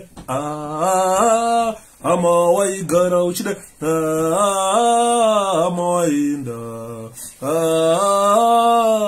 nai hama iwe uende kudenga wega wega uende waifamba uchidai. Waigara uchidai. Hama waenda mukabe takamuimbira hama waenda waifambawo nendege waidya zvawaida wairara mahotera anenge ane aircon. Hazvina kumubatsira nekuti midzimu yenyika yakanga yagumbuka handiri muri kuona. Saka imbomutaurirai chiwenga kuti the ancestral spirits through maspirit medium avo vanova vachikutaurira they will remove you. Hanzi muri mimbi mungoma voice makapiwa. Shuwa here. Mavoice ekudaidzira mupared square. Paredicha move the right in the Zion, she tap on the right quick march. Oh, it, oh, it, oh, it, oh, it, oh, it. mavoice ekudaidzira muparedisco yakaidzidziswa saka you find ladies and gentlemen kuti machiefs uh, machiefs especially the ancestral spirits through their human agents the spirit mediums and the subjects always removed tyrannical rulers from power with the assistance of the neighboring chiefs. This is the situation in which chirisa mhuru of the rosi empire found himself himself when he ignored the advice of the ancestral spirits during the during his rule. Hanzi stress yotizapa hainorova pasi stress taura yenyu mukoma vereri so you, so you find you find kuti uh, uh, a good example of a chief who lost his chieftainship because the, media, the spirits were not happy about his rule is the chirasa muru who ignored the advice of the ancestral spirits during the Rosh Empire. And he was removed from his chieftainship. And because you cannot ignore the advice of the ancestral spirits. Yesterday, but one, I was on Zim I talking about um, uh, Mondorenyika, talking about Thomas Tafirenyika Mapfumo.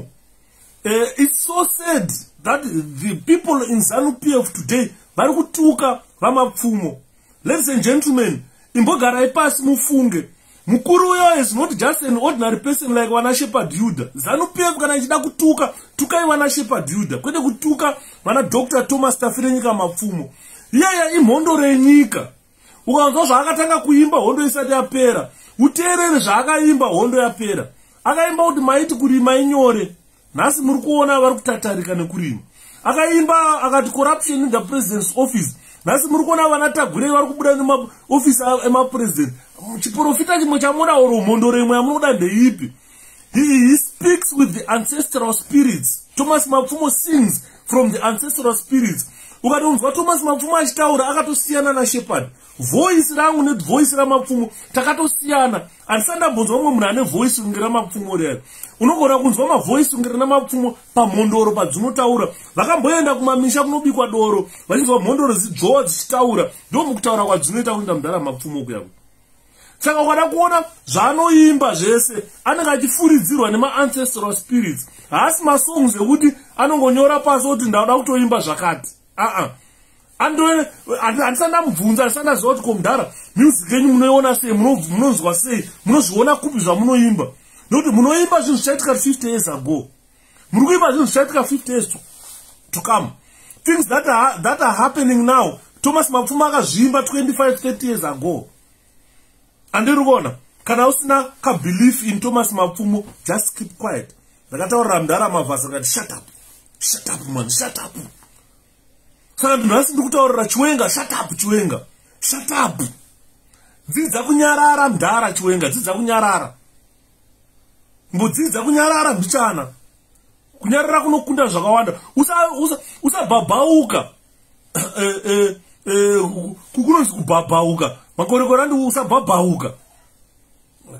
Kutiri kuprizida iri ndo rinonzi bvetsvetse riri kutiwana chiwenga rere ibvetsvetse rere ibvetsvetse kubhabhauka kwaari kuita kuyakwe kuti kesi kangoitika kemanga manga kesi kotomhanya pamidhia hei inini ndiri vice president. Hei machifi kubhabhauka chiwenga ukaita musi wakareba unodimburwa. Manje manje.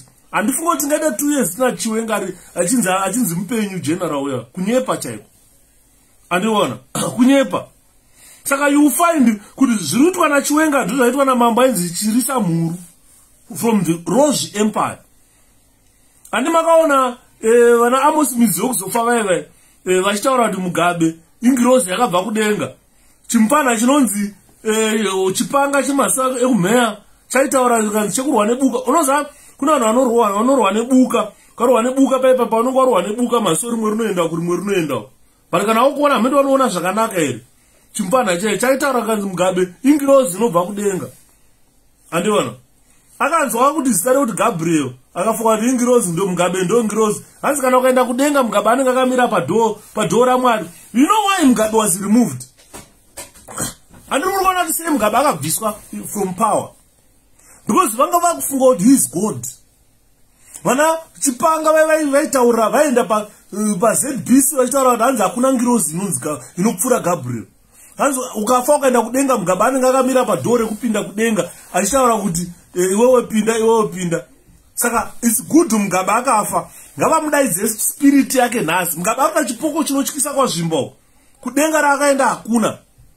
Vanhu vari kurwa mbama mazvimba vanhu vari kutsemurwa mazenya umu namugabe andiriona but tainzwa chinzi mugabe anenge akamira padhoo rekudenga uchiti kana kupinda nanoti iwe upinda iwe haupinde iwe upinda iwe haupinde saka god wanted to prove it. Kuti no no this is not god. This is not even ngirozi munhu. Andiriona this is just a tyrannical leader a killer a medara vice president wekusouth africa hatombomuzivi isu taurai zvenyu kana kana general chaiwo wemasoja kusouth africa pana anombomuziva anotungamirira mapurisa uh, commissioner wemapurisa ekusouth africa nobody knows. Ukauya muno muuk muno handitomboziva kuti vice waboris ndiani? I don't even know. Vice waboris i live in the united kingdom britain. I don't even know who, who is deputy to, to, to, to, to boris. Kana anotungamirira mauto emuno muuk ndiani? I don't even know. Even if you ask me i don't know But what's special about Zimbabwe, where we know the president is vice, even the police commissioner, the prison commissioner, you understand? Saka, Uchiwenga is the is, is someone like Chirisa Muru from the Roj Empire, who found himself when he ignored, who was removed when he ignored the advice of the ancestral spirits during his rule his army with the help of neighboring female uh, neighboring uh, female chief ainzi nyamazana. They rebelled against him. Traditional chiefs would not deliberate alone on the issue affecting their people. You can't do it alone particularly those with important political economic religious and social dimensions. So chiwenga uh, tiri kuona sachirisa mhuru unorova pasi manje manje and unorova pasi unorova pasi chiwenga general chiwenga mutaurire to call him general is an insult to the title general. He would rather call shepherd juda general rather than calling chiwenga general. He is not a general. Someone who doesn't listen to the ancestral spirits who just ignore the advice of the spirit mediums. Musauraya vanhu musauraya vanhu. Mugabe thought he was himself uh, uh, ngirozi gabriel but where is mugabe today? Chipoko kwazvimbo and vari vatomufukura unomudyara simbambairo jesu paakafa haana kufukunurwa. Akamuka ega muguva akarova pasi. Akakwira kuenda kudenga rababa vake ega haana kufukunurwa. Handi muri kuona so its a warning to these idiots from zanu p f because there must be a, an administrative machinery which chwenga must consult first asati arutsa kutaura asati aenda in public achitaura matuzvi andimona? Because as it stand chwenga is compromise. Hakuna spirit medium inoichamutaurira zvaanonzwa chwenga hakuna sabhuku achataurira chwenga zvaanonzwa. Handimunzwa nyari kutaura so without the approval of maspirit mediums iwaya uh, traditional healer uh, or matraditional leaders are they are powerless. Saka mutaurirai chiwenga he is powerless. Without the approval of ancestral spirits in our country you are powerless. Ndosaka uchiona vachitonga neginya vachipasa mitemo isina basa. Mitemo yana chiwenga haishande. Andove mapolitical decisions avanoisa haana basa because they are not the approved leaders to lead that country titan simba titans anzi makorokoto nechipo chamakapuwa nasi chemwana. Ah titan thank you so much. Vakomana eh, ha ndakura. Kuita sekuru wethree vana eh, christmas box ndakapiwa kudhara. Ah, don't worry about christmas box guys. Eh, muroora wangu akandiitira christmas box asati anzwisisa nanhasi im still uh, not believing myself kuti ndine hereni naona vamwe vanhu vakafa vasina kuona vazukuru ava kune vamwe vanhu vari kuchema nanhasi vasina vazukuru mugaba akatanga kuona muzukuru eti 90 years imagine shepard yuda ati 50 ndane vazukuru vatatu andimona chipo chakadaro thanks titan haa mwari vandirangarira and I am likely to see my grand grandchildren. I've got grandchildren who see their children as well. As Chiwenga is not caught. No chokwadi ichocho. Saka you find nyaya dzati kutaura. The most important injunction was that the chief should never act without the advice and full concurrence of his councillors. Even the president. the representatives of the people. Councillors are the representatives of the people. And the chiefs hakuna mambo anotonga asina vanhu ivava and so the advisors were supposed to inter alia submit important information about opinions and development in their community. Kwete zvatiri kuona zvekunzi purezidendi ndo vanoenda kunovhura toilet kunovhura mochari andinoona kunovhura toilet kunovhura mochari machifi varipo unoona chiwe eh, eh, munanga agwa anodhiraivha motikari kuenda kumount darwin kuruya uku. Pasi kwenyika kune zve zvinoruma kumount darwin kune zve zvimwe zvinoruma so zvekuti ukatamba unoswera uchikwenya musi wese. Murume mukuru anokungurusa motikari kuenda ikoko kunovhura bridge enaro bridge. Tine madzimambo eko. Daivai vamunanga gwa vaifanira kuti kuenda kuna mambo mambo tauya e, mudziyo wenyu wataka kugadzirirai kuti muone kufamba kana ukanaya.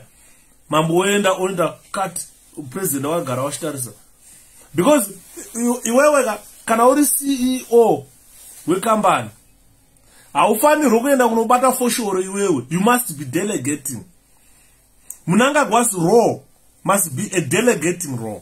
Delegating a minister. Ndosaka achinzi bos iye akuzviita minister of transport minister of home affairs. Zvese zvaakuitwa naye. Ndikabvunza mazimba nhasi kuti anoziva minista wehome affairs muzimbabwe ndiani? Ukona kutadza kumuziva bcause parisaposi kuti anoofficiata zviri kuvhurwa namunangagwa It's dead. Oh, sorry, my boy. All right, I'll put it on the charger. Bye bye. handii muri kuona nyaya yati kutaura okay babai ashe pull it hard. Good boy. Oh sorry. Get up. Close the door. As the oh, dr rebara varungu have their rituals in the form of the so-called village festivals and morris dancing they do this seasonally and yearly yes. So you find that uh, chiwenga and the mnangagwa's regime they are ignoring the advice of ancestral spirits. So when you ignore those the advice of those people or those men eh, baba eh, hakuna kwamunoenda nenyika you cannot run a country. You cannot run a country.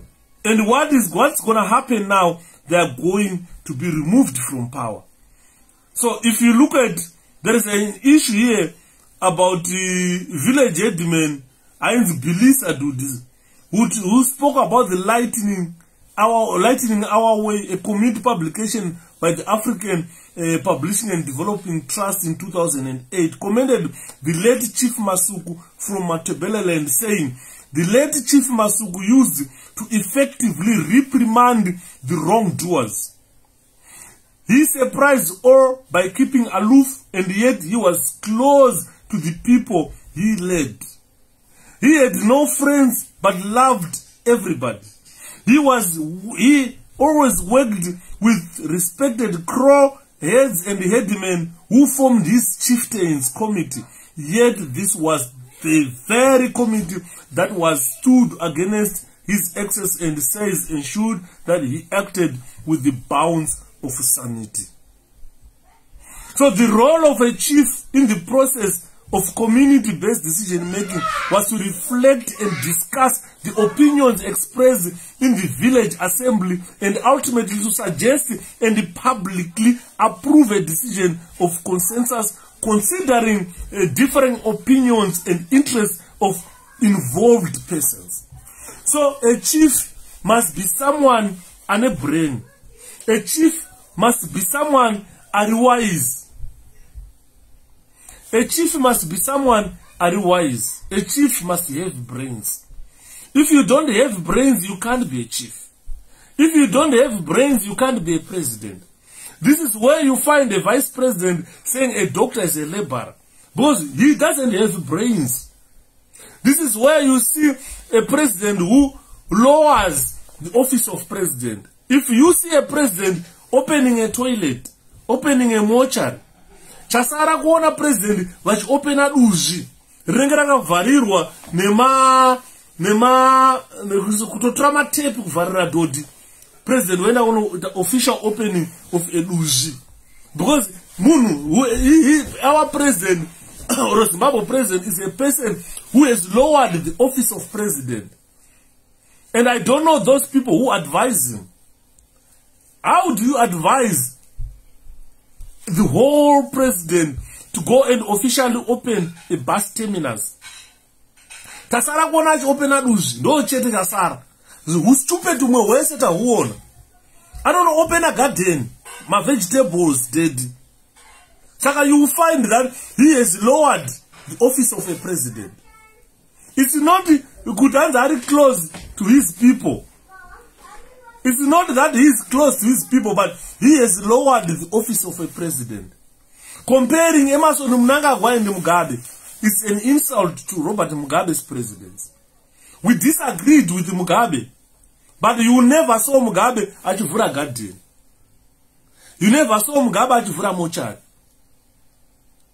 During Mugabe's time, the largest mochari in Zimbabwe yakavakwa neprison services that mortuary can carry about 200 bodies. Iri kuprison. But i've never seen mugabe officially opening the largest mortuary in our country. It was built by zimbabwe prison services at, at, at, at chikurubi there. There is a mortuary that carries 200 bodies at one time. But i've never seen mugabe officially opening that mortuary. Ukapinda mortuary yekuchikurubi unorasika iwe endofunga inoti tityisa kupinda. Kana mbozi maane zvitunha manje unotorasika chete. Waiti uchipinda ichivakwa so waita zvazo kuti wapinda nekupi uri buda nekupi. It carries 200 bodies. But i've never seen mugabe official opening that mortuary. Never in a day. So the role of a president and the office of a president they were lowered when he did took over. Whereas he, he got a vice president who is who is less than a headman. Kumusha kwana chiwenga haangamboite kana sabhuku chiwenga hazviite hazviite let alone being a, a vice president of a country. So the role of the chief in the process of community based decision making was to reflect and discuss the opinions expressed by the village assembly matare emamusha and ultimately to suggest and publicly approve a decision of consensus. Though yainzi democracy iyoyo considering different opinions and interests of persons involved.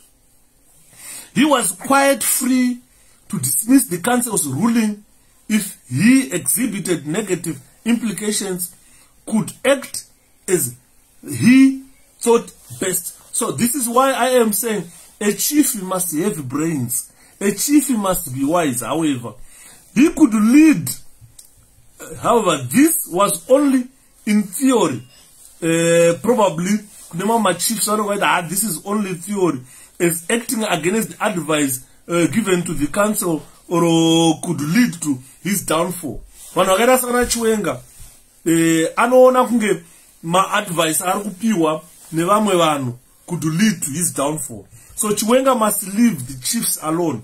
Because now whatever happening now to the chiefs of zimbabwe this could lead to their downfall.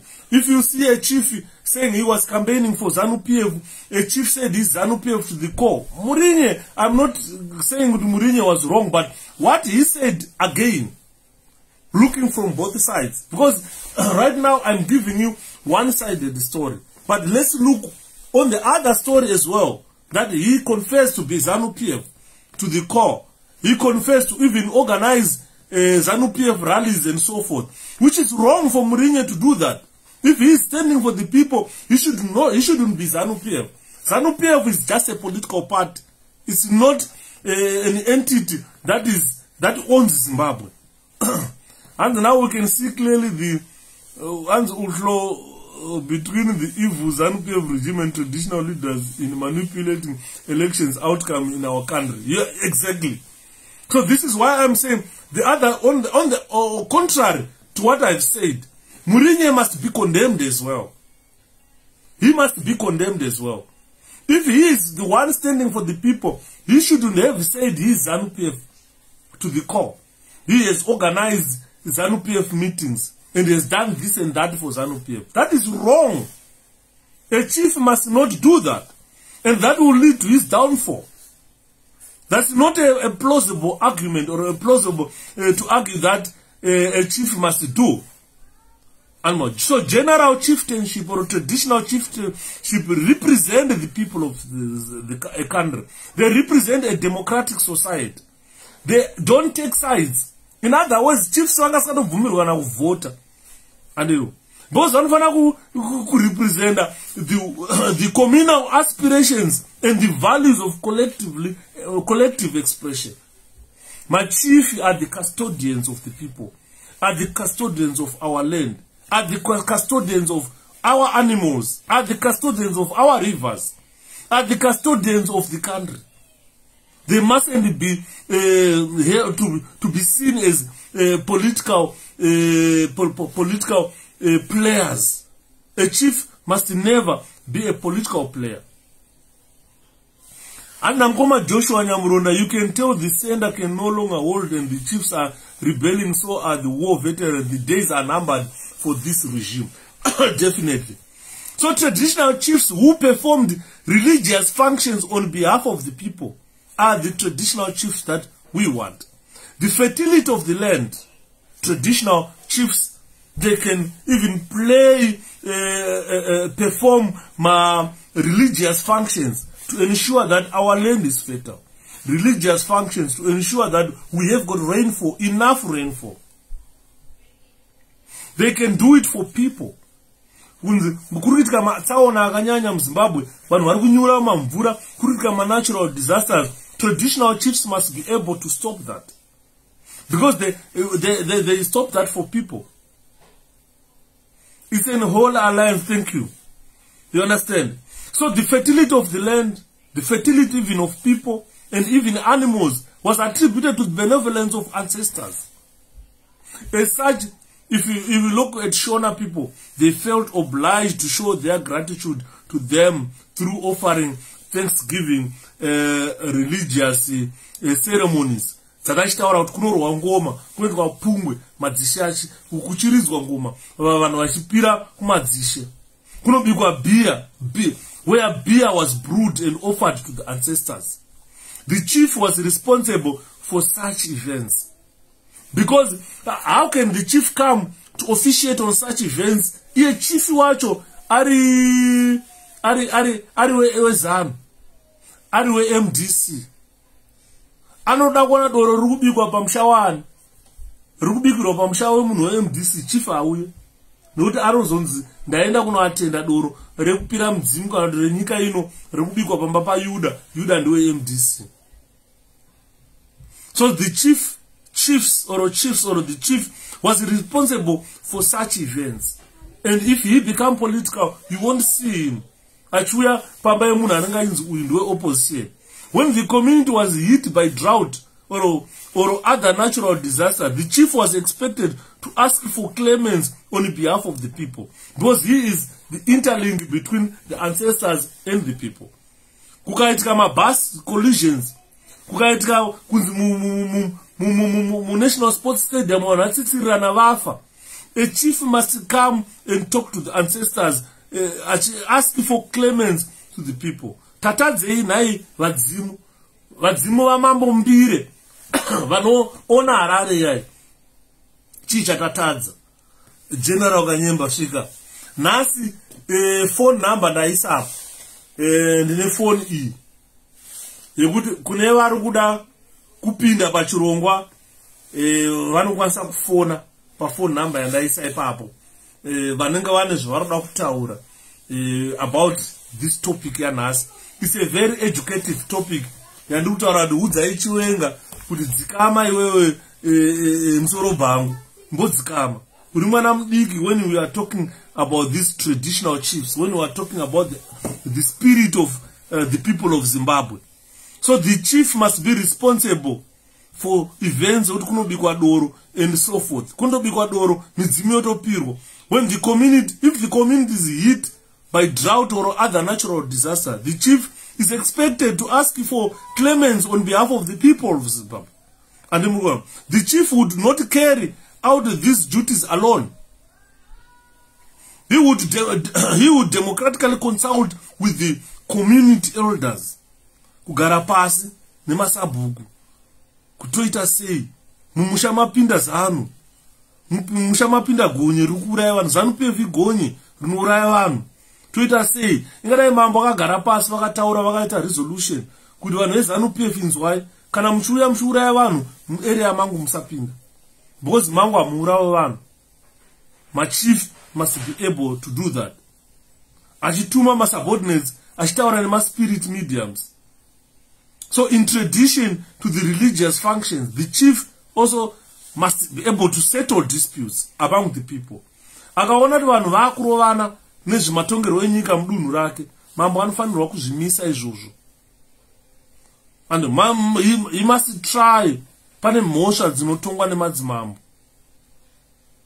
Kudhara mambo aitonga chero mhosva yese aitonga chero madisputes. Usakaona kudhara kudhara vanhu vaiurayana but waitosungwa woenda kwamambo kana uchinge wauraya munhu wotoripa. Ndosaka uchiona ngozi dzaiita shoma kudhara.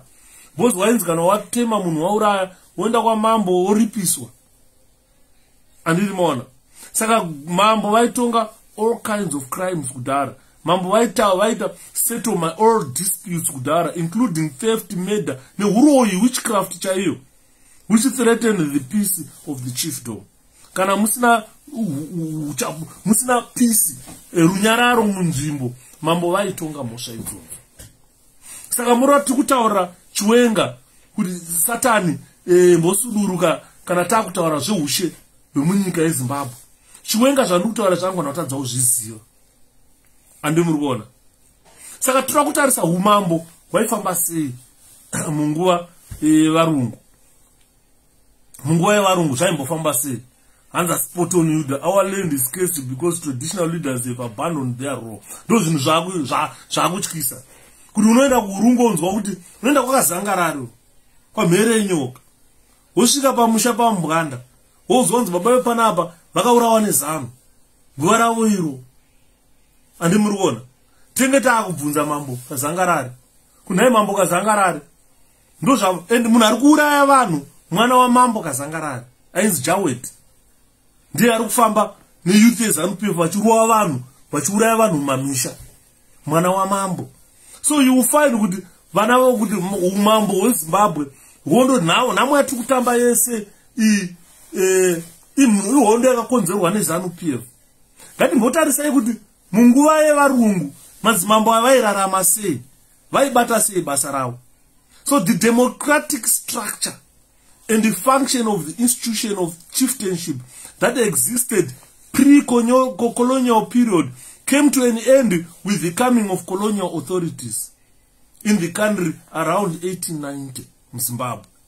The colonial masters introduced what they call administrative structures and the legislature laws that reduced the function of chief to that of government and officer.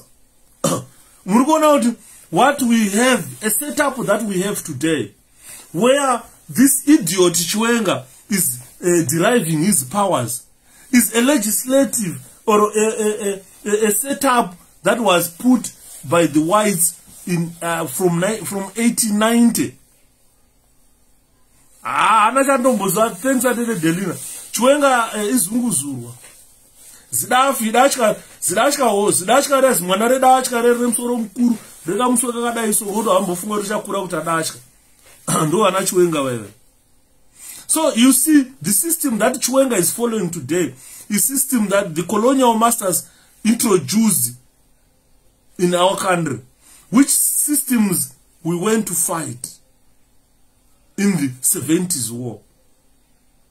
These administrative structures that were introduced the legislative laws that reduced even the functions of the chiefs this is what we went to war to fight against. Hanzi zvikutoita hanzi zvikutoitika mungoma zvekuresa have you watched dramas media? Rushinga mambo ari kuda mombe 20 kumapostori akaurayisa vanhu kudunhu. So vana mambo vane simba ravo but zvezanu zvakaoma. You find that, that chief akareceiva mombe idzodzo 20 he can be jailed. For extortion. We have got chief ndweni nhlahla ndweni vakasasettle a dispute. Vakadzinga munhu mudunhu ravo. Chief ndweni was arrested and incarcerated for exercising his duties as a traditional leader. The government should have never arrested him in the first place. So you find that if that chief find the, that those people trained cattle he will be arrested for extortion and will be sent to prison. You understand? Because of the colonial masters who introduced administrative structures and legislative laws that reduce the function of chiefs. And our black government has further reduced the function of a chief to that of a government officer. The chief was no longer answerable to the ancestors in matter pertaining to the day-to-day -day happenings in the chiefdom. Madzimambo anhasi. Ukaenda, believe me guys, endai kuZimbabwe. Muende kwana mambo nematombo, vane matombo moto watsva. Masvika kuya kuya kwane matombo kuya. Eh, itaiti mudhara nematombo, pira mudzimu yako tione. Zvaitwa nemachief akudhara. He can't do it. He can't do it. He can't even talk to his ancestors. He can't. Andiri murugona. Because uh, the colonial administrators, they took over the, the powers of those chiefs. ndosaka makona zanupf government yakutaura kuti ine masimba ekunongedzera mambo wavanoda kuti muri inyeibva iwewe uya uite chief nhlahla ndiwenibva iwewe uya uite chief vanhu vari kuiswa ava havasina that prowes they lack this connection with ancestors. So th this is why you see even disasters in our country they will never end. Thanks nkoma uh, tindo thanks so much. Disasters in our country they will never end. Because the day to day the happenings of a country must be the, responsi the responsibility of a chief the chief is all our, all our chiefs in zimbabwe's judi judicial powers were clipped. While serious cases like murder mafights thefts and witchcraft were all referred to colonial authorities. They started taking all those cases when some court. And the chiefs were left with no powers. They were disabled kwakatanga kuvakwa majeri after 1890 harare central prison nga 42 nga prison kubulawayo nga prison. Murder enanoyo hemwa bible introduced to us our laws. Because mitemo mizhinji iri mubhaibheri ndo mitemo yataingoziva. Vanhu vari muzimbabwe vasati vaziva kuti kune bhaibheri waiziva kuti ukaba unosungwa. Unotorwa uniswa kwamambo unzi wabaiwe unotongwa hanzi mukoma yuda munhu mutapa watinaye ende wechingani. Tafanira kuziva kuti zimbabwe is a state not a country. Hatisi kuziva kuti mutapa uyo watinayo ndowechingani because trauzi rake ukaritarisa unoti ya e, pane zviripo pano. Andimurona so if you look at chiefs powers they were reduced. Mafunctions emachiefs they were taken away by the colonial uh, the colonial ngrini so to the to the extent that uh, all crimes were then put uh, to the state powers. Ukaba ukauraya ukaita sei kana ukanonzi kuroya wakunotongwa kukoti saka mapowers emachief pakanga pasisina during the colonial era. So, so if you look at uh, the rhodesian high commissioner uh, ainz pali he proclaimed in 1898 he introduced the southern rhodesia native regulations in 1898 which laid down the structure of a native uh, the structure uh, of a native department to administer africans. In 1898 ndopakatanga kuswa mutemo yekuda kutonga vanhu vatema tichavatonga sei vanhu vatema okusilia munanga hwakaenda kunopindura nyaya dzeushe kuchiweshe because ave first lady. Zvinonyadzisa. Zvinonyadzisa. And imagine eh, okusilia munanga gwachipi achienda kumunyanzi madzishe iwayo maaccidents akaita apere. Kungodai sokuchinoi kwafa mupurisa. Kungoenda kumaundarini kwafa mupurisa. Kuenda paningiri panonzi payapa eh, pachiweshe pafa musiya iwowo. Kuratidza kuti vadzima vasi kudayirana naye haana ropa reushe haana kodzero yekupindira zveushe hwekuchiweshe handii muri kunzwa. Saka uri kuona ndo zvakaitwa naainzi na pali ndo zvakaitwa narhodisha high commissioner. Akaintrodusa e, mitemo yekunzi iyi mitemo iyi inonzi native department to administrator africans. The secretary of the native uh, affairs who was answerable to the administrator was later became the governor. Aakunzi governor ndiye akanga ari administrator wemutemo. Saka uri kuona ushe hwese hwemadzimambo hwakatorwa masimba emadzimambo akabviswa nemarhodesians akatanga kupiwa the district administrator. Andi muri kuona. So the country was then divided into mashonaland ukatarisa zimbabwe hanzi kana mazogara varume muzano hamuna kumira mushe as we speak. Munewo ndotaura yenyu ngomatatindo saka you find that ndo pakazodividwa nyika yezimbabwe. Pakaitika the scramble of africa. Pabva the scramble of africa pakadhirowa map padhirowa map zimbabwe ndobva yapuhwa portion yayo yainzi rhodesia. Rhodesia yainobva matanga manje kunzi aya mashonaland aya bva kwangunzi uku uku kumatebeleland province. Chiefs of the provinces were given nechief native commissioner yainzi cnc kwaive saka mainzi machief ekumashonaland mimi munotungamirirwa nachief native commissioner ainzi mucnc chief native commissioner. Vekumatebeleland vakapuhwawo chief native commissioner wavo he was assisted in his administrative duties by african uh, functionaries including chiefs macroheads nemasabhuku hazvino kana imi vacheche ndimi makuziva remekedzo norukudzo e, chii chiri kuitika tipireyo. Handiri muri kuona saka zvatiri kutaura izvi vana chiwenga vanofanirwa kuva vachizviziva. Bcause mukasaziva izvi hakuna kwatiri kuenda nenyika. Handimaona so ukaona ainzi cnc uyu chief native commissioner aibatsirwa kutonga madzishe anga akutonga madzishe anga apamusoro pemadzishe iyeye handiti muri kuona anga apamusoro pemadzishe iyeye so the native commissioner took upon himself all the administrative duties for the district thereby robbing the traditional rulers of all powers they wielded before the colonial era. As a result the power of the chiefs to allocate land was usurped vakatorerwa. In 1910 the native commissioner of inyanga yaakunzi nyanga today inyanga district annual 1910 remarked that he did not advocate the, the, the placing of two main powers in the hands of the chiefs.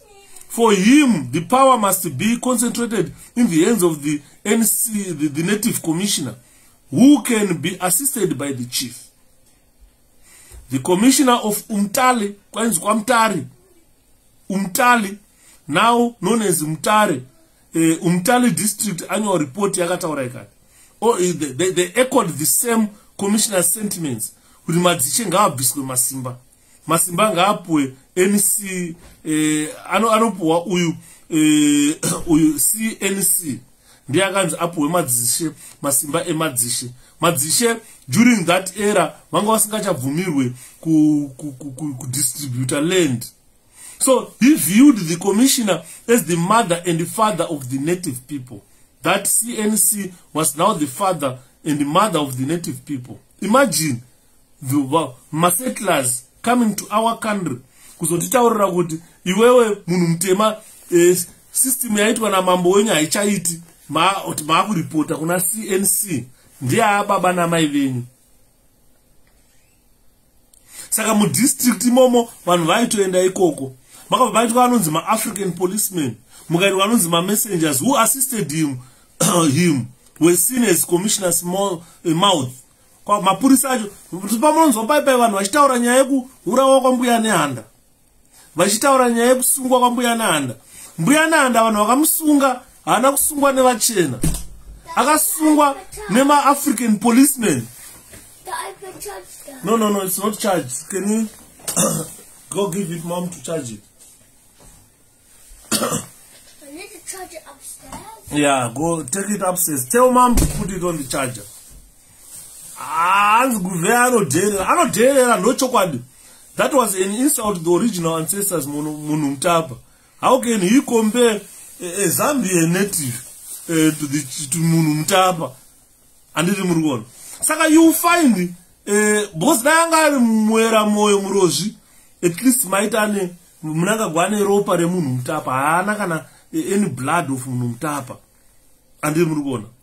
So muri kuona kuti the native commissioner also facilitated the installation of new chiefs.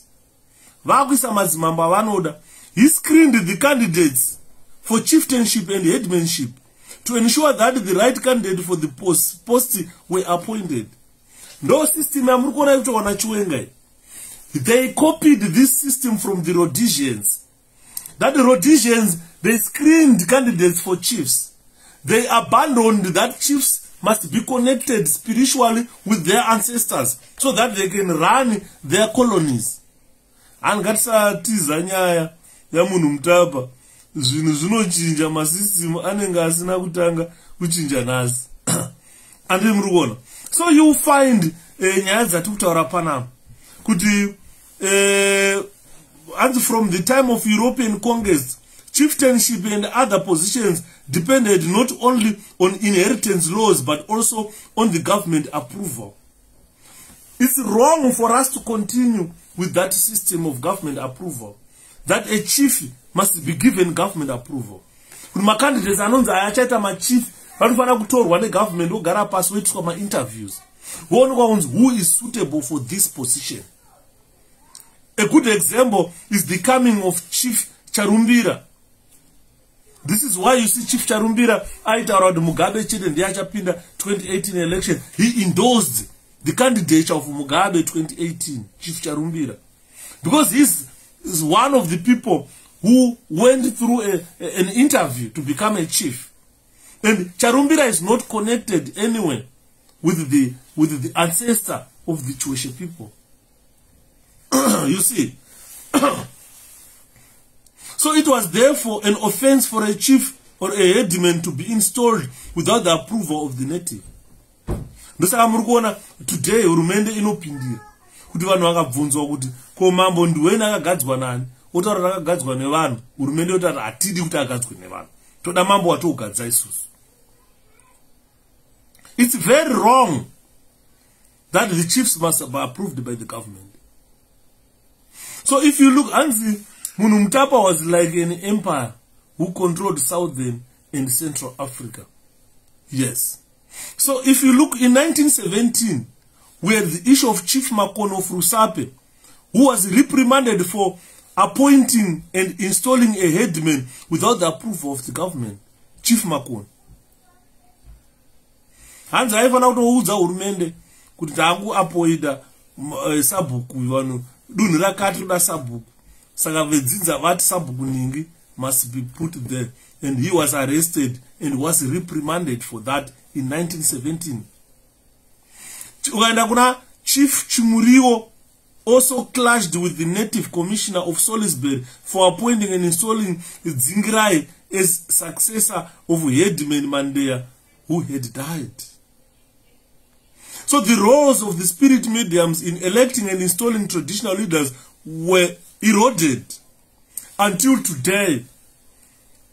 Until today the spirit mediums are not allowed in our country to elect or to install a traditional leader. So the nec introduced the ballot system imagine. There was introduction uh, of the ballot system in electing even new headmen or chiefs. Just after the death of chief chimurio of mutasa the nec for omtale called for elections to replace him. Village heads had to line up being their preferred candidates vetted by the nec in this particular election mukukudzi pulled 30 votes against masawara's 6 votes implying that the former became the successor. The same process was used after the death of mukukudzi in 1958 gomwe became the next chief after he garnered 50 votes against masawara's 6 votes.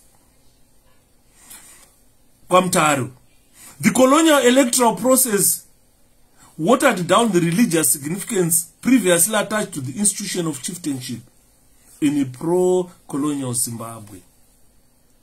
The traditional leaders therefore became victims of the colonial injustice and dictatorial rule. They became powerless people. They became powerless before the people so ladies and gentlemen from whatever i've said at, the, at this juncture i've taken examples of what happened in mtare what happened in rusape that chiefs were being elected. Hazvisina spiritual connectedness yaivepo before the, the, the colonial rule. So if you look at that tradition it eroded the powers of the chiefs.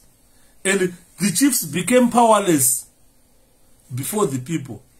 Vanhu vanga vasicharespecte madzimambo. Vakanga vaa madzimambo vemazita munguva iyoyo. And we thought that went with the colonial rule. We thought that ended with the ian smith regime. Little known that we still have a government that is uh, uh, uh, taking over the colonial system zvinonyadzisa kuona munhu akaita savp chiwenga achituka madzishe achitaura kuti ishe ngaasungwe ishe ngaainvestigatwe is trying to take away uh, murinye's powers in front of his people so that murinye become powerless in front of the people. If you look at female traditional authorities who used to have a lot of influence in shona society began to sink into oblivion. Nhasi unoyo ndikakubvunzai kuti madzimambo echikadzi atinawo muzimbabwe ndiani wamunoziva munogona kutadza kubuda nehwani mambo wechikadzi panapa. Madzimambo echikadzi vakabva vatanga kubviswa. Pana munhu hapana kuzomboita mambo wechikadzizve handii murikuona so the colonial authorities had no respect for female chiefs. Up until even this regime yamugabe zanu p f government. They have got no respect of uh, female chiefs. Ndikabvunza panapa kuti female chief wamunoziva ndiani ini i don't know any female chiefs in our country. I don't know one.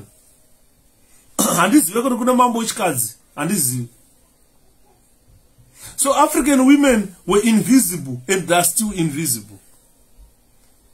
During the colonial era and post colonial era female chiefs are invisible. Having accepted the idea that women were perpetual minors in society and presumably played no part in public life. Administration and officials assumed that they had no political function. Today hapana even even mapolitical parties. Mukadzi ukwana political party mukadzi anenge arimo kazhinji just vice or deputy. And udepute wacho ndo hwekutonzi mukadzi uyu mureserverei city city one of one of the vice presidents in zanu p f must be a woman. And that woman must either come from zapu or zanu p f because mavice president ezanu one ndewekuzapu one ndewekuzanu saka zanu ikaisa mukadzi zapu inoisa murume. Zapu ikaisa mukadzi zanu inoisa murume. Ndosaka muri kuona zvinezvi they are fighting to take to nudge chwenga out. So that they replace chwenga with a woman presumably uh, mbuya opa muchinguri then uku kuzapu vozotsvaga anoreplaca uh, that sex pest. Zvose zvataita kudzvinyirira ndo zviri kushandiswa kushungurudzwa mhuri yezimbabwe iyo iri kunzi yakasunungurwa. Exactly. This is why i am saying this that all what we what was happening during the, during the colonial the colonial era is still happening in zimbabwe where chiefs powers were reduced. Our chiefs do not have power in our country. And uyo ari kutaura kuti chief murinye must be arrested and investigated. Handii muri kuona for what reason? Kuti chief ataura kuti muri kunyadzisa. Chief ari kutaura kuti muri kuba. Mambo ari kutaura kuti madiamonds edu tinongofukura nebadza atidhige kuenda pasi like vana south africa mari makaisa madiamonds akaenda kupi? Nyika haina kana improvement yatakaona. Zanup f muri kunyadzisa. That is the duty of a chief. Chief anofanira kutaura on political side kuti vanhu vangu vari kusafa ndine vanhu vemdc vari mudunhu mangu ndine vanhu vezanup f vari mudunhu mangu. They are all suffering the same. Because havasi kuwana zvinhu zvinobva kuzviri suppose kubva kuhurumende to feed the people. A government must not be a political government yezanu chete yekuti kana vachipinda mudunhu vanotaura kuti mbeu yauya ndeye vanhu vezanu. Tine mavhidhios evanhu vezanu p f vachitaura kuti vanhu vemdc havafanira kutopuhwa chikafu. Chief must abandon all that. Chikafu kana chichiuya ngachipuhwe mambo maruzevha. Mambo ochipa vanhu vake haatarise kuti uri wepolitical party ipi? Zanup f must never be allowed to distribute food because most of the food that they distribute is coming from america is food aid. Masaga acho anenge akatonzi united states of america. America haisi kuendesa food to feed zanup f people only. Is sending food to feed zimbabweans.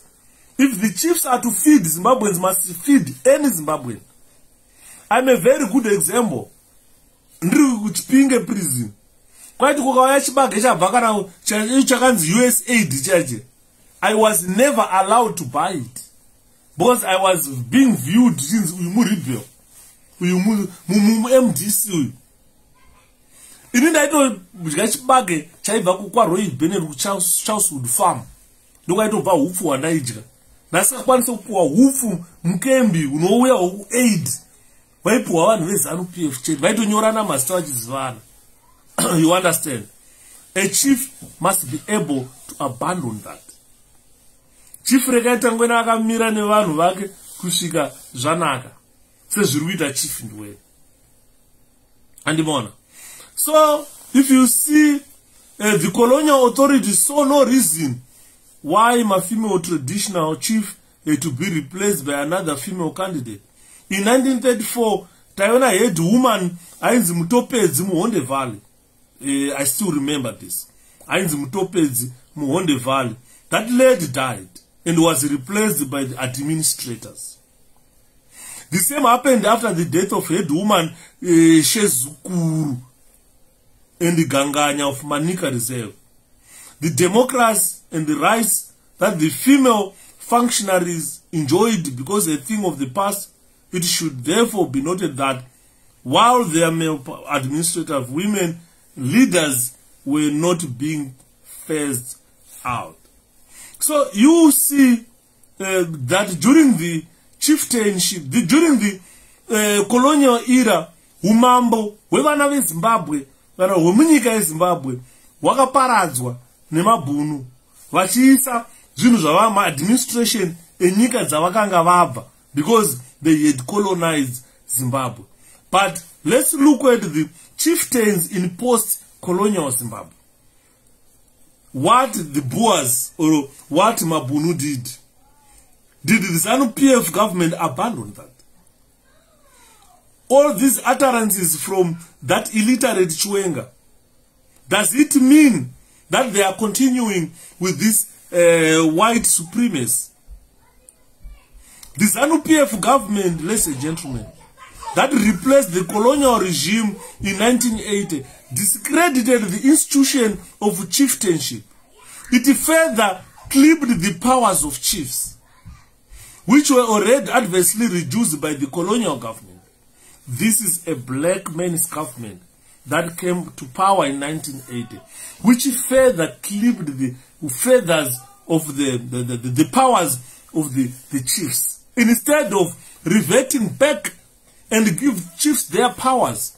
Zanu pf did worse than what the, the, the, the whites did in our country.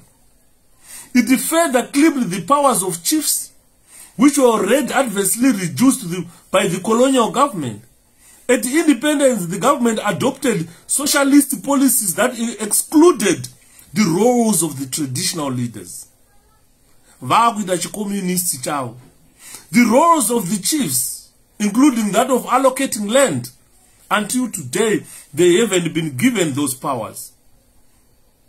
And those roles during zanu pf regime they were transferred to district councils transferred kumahanzi mawadiko ma which means ward uh, committees and the powers were transferred kumavidhiko vachiri kuziva nyaya tikutaura panapa nemawadhiko nemavidhiko ward committees nema uh, uh, uh, village development committees.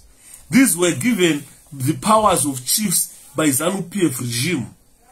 It refused to hand over uh, to hand back the chiefs powers.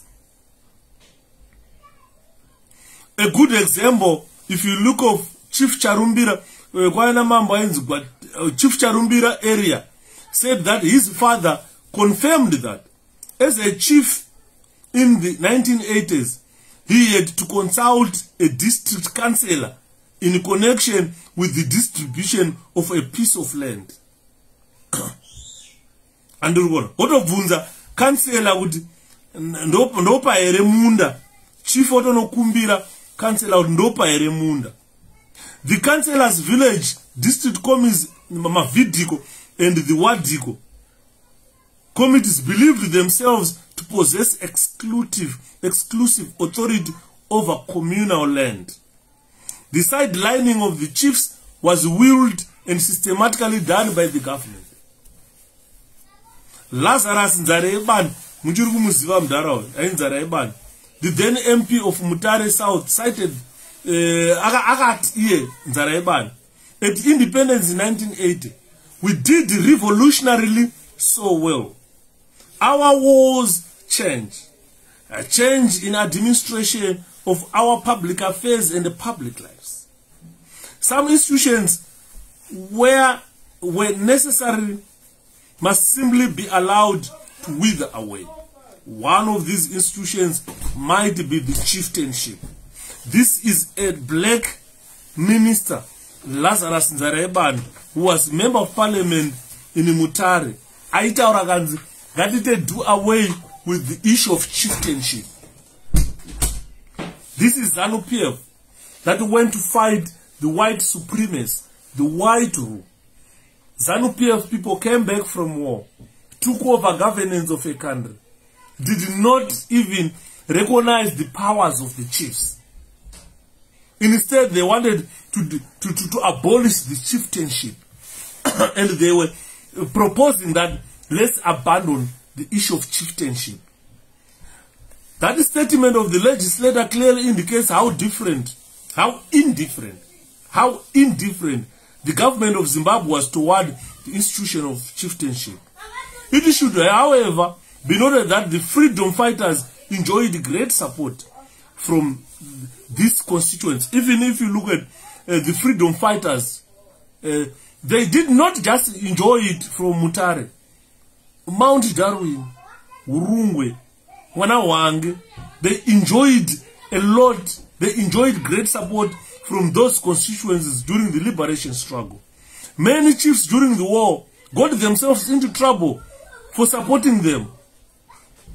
The chiefs that Chwenga today is shouting at got in trouble for supporting uh, the gorillas. In the 70s, village head Mwainzi Amandos Njerema of Shezukur ward was imprisoned and tortured for providing food and shelter to the liberation fighters. Chief Makiwa Nyashan was also deposed for refusing to have his subjects in um, in restricted areas commonly known as Makip, Kwaya Nines Makip, what would make it virtually impossible for the gorillas to access food from the people. And the chiefs, the same chiefs that Chwenga is shouting at, is threatening today, suffered a lot during the war. Because mabhunu akacreata ainzi makipi makipi vanhu vaitorwa vanochengetwa ikoko kuitira kuti magorira paanouya e, paanouya magorira muarea anoona mukwese kusina vanhu saka vaishaya chikafu vaishaya mvura yakachena vaishaya sapoti mambo akatobviswa kunzi warambirei kuti vanhu vako vaendeswa kukipi ndo madzimambo ari kutukwa nachiwenga nhasi ari kunzi nachiwenga anofanira kusungwa ainvestigatwe tikamuona ari guilt tomukanda kujeri andiri kuona. Saka chief makiwa nyashanu akatobviswa umambo akatorwa umambo nenyaya iyoyo. However not all chiefs supported the liberation struggle though such leaders were abducted and even murdered by the liberation fighters. Madzimambo aionekwa achinzi haaya hatisapotani. Vaingotorwa voenda vodimburwa musoro nana guvheya saka achiri kufunga achine spiriti iyoiya yekuti chifu ava vari kutaura kuti zanu matinyadzisa. Chifu murinye vanofanira kudimburwa musoro. Ndozvitaurwa nachiwenga. Chiwenga aguta kunyarwa. A good example kuna headman ainzi kurehwa aibva kwamutasa uko nekuchikomba neumwe ainzi chikomba wekuchivhu they were murdered on suspicion that they sympathize with the colonial government. Kurehwa angari sabhuku kwamutasa kouya ainzi chikomba angari sabhuku kuchivhu vakaurawa nanachiwenga kurehwawo yakachekwa musoro nachiwenga if i still remember i had a conversation with someone aiziva chiwenga. Chiwenga nguva dzehondo anga asinganzi chiwenga. Ainzi guvhu shortcut for guvea and guvhu chiwenga ndiye akadimbura musoro. Masabhuku ainzi kurehwa wokwamutasa akadimburwa musoro nachiwenga achinzi uri kusapota mabhunu. Kozi amwe sabhuku akaurawa kuchivhuku ainzi chikomba akaurayirwa unzi kusapota mabhunu. Hanzi pane zvizhinji yudha zviri kubviswa mutsika yedu zvishoma nezvishoma. Vanhu vasiri kupiwa mukana wokupa pfungwa dzavo. Gara zviya mwanasikana vari kuti aroorwa ane makore mangani 12 years. Hanzi mwana ane uh, consent. Because vache madhara aya kaya they are just used to abuse kids. 12 years vautakuti mwana ngaaroorwa therefore it could be that government of zimbabwe ignored the chiefs because some of them collaborated with the colonial masters. This is what they think. Chiefs are there for the people. They are not there for the government. Andimona so after 18 years of independence or after 42 let's safely say after 42 years of independence zimbabwe government or zanu pf government uh, it, it made a sudden shift regarding the way they related to the institution of chieftains. The then minister of local government mdharaunda um, ainzi john london ngomoya muna 1999 uh, he announced the plans to create a new ward and village assemblies that would, that would be led by chiefs and headmen. Following this announcement allowances for the chiefs were increased from uh, $2000 to 10000 a month the headman allowances vandobhadharwa 680 to 5000 per month. These hefty increments were followed by the president, president mugabe's public apology for neglecting the chief uh, since independence. Thereafter the powers of the chiefs were returned they were supposed to have re returned but they never returned chiefs were not given powers to spearhead development programs in their areas including distributing distribution of land it remained in the hands of the government. They were also are tasked with the role promoting cultural values and norms in the uh, communities. Uh, the question is why is it a sudden twist? And murugona so a lot of things ladies and gentlemen that were done by zanu pf post independence were just a duplication of what was happening uh, during the rhodesian era. So the power and influence of the chiefs in the fight for justice and democracy. This is what we have seen Mourinho say and which has put him under crossfire. Traditional leaders they still remain influential in their influential political actors in contemporary zimbabwe especially in rural local government despite their manipulation by politicians during the colonial era and the post-colonial periods. Although some chiefs have lost much of their legitimacy as they formed part of the colonial and post-colonial government machinery this is the machinery that uh, chiwenga wants to continue with. Because if you look at uh, what chiwenga is doing is to in a post-colonial era is to try to turn chiefs into a zanu pf machinery and this will lead to chiefs losing respect. The chiefs obvious will lose respect because they've turned into a, a zanu pf machinery others did maintain the traditional system of accountability. Ndiri right uh, atete barbara muri sei tikutaura nyaya dzemachief yesinda is everything okay? No no no. This one is, is not yours. No no no It's not updated. it's an updated one yeah. so go and watch tv go and watch tv because i gave you this one. You said you don't like it. I liked it. no you said you don't want it. Hmm? uh, take that one. Bye bye goodbye. So muri kuona nyaya tiri kutaura ladies and gentlemen. That the chiefs have been turned into zanu pf machinery. The chiefs now are failing to maintain the traditional system of accountability. And they have never been consulting their areas. They report to the parliament instead of the parliament to report to the chiefs. They don't respect they don't command they no longer res command respect of the people. And they are, they've lost their dignity as the leaders of the people.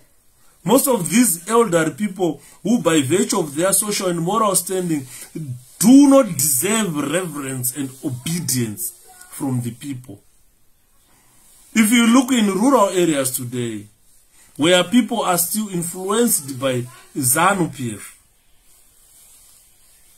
or people are still influenced by African traditional religion, the chief must be viewed as the link between the spiritual world and the people. But the type of chiefs that we have today, they are killing machinery, killing machines for ZANU-PF. And they've lost this link between uh, the, between their people and the and the and the, the society. Hey, who's doing that? Ah, Sky. Okay, go and watch TV, my dear. The noise is too much, Sky. Sorry, my girl. Sorry, Sky.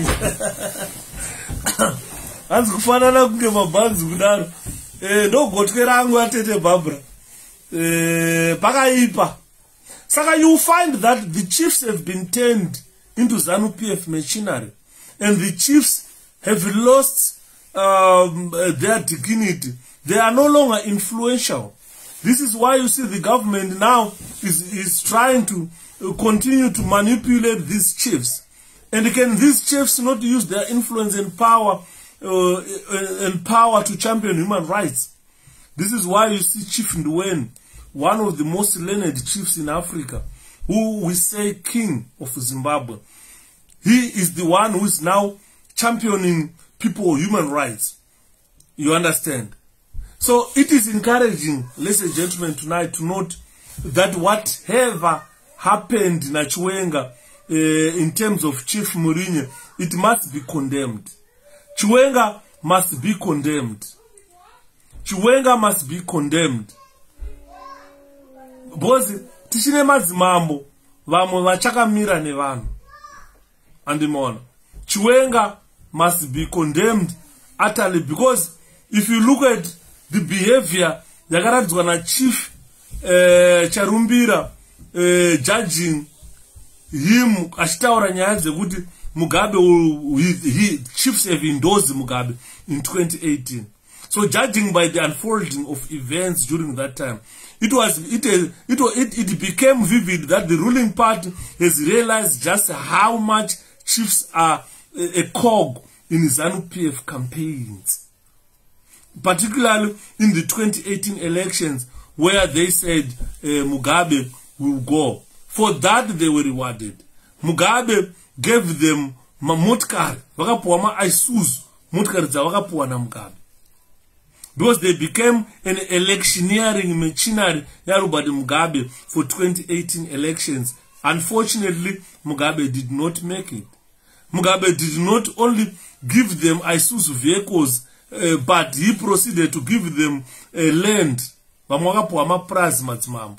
Hence the question is why, to why chiefs are being recognized and given gifts in such towards elections.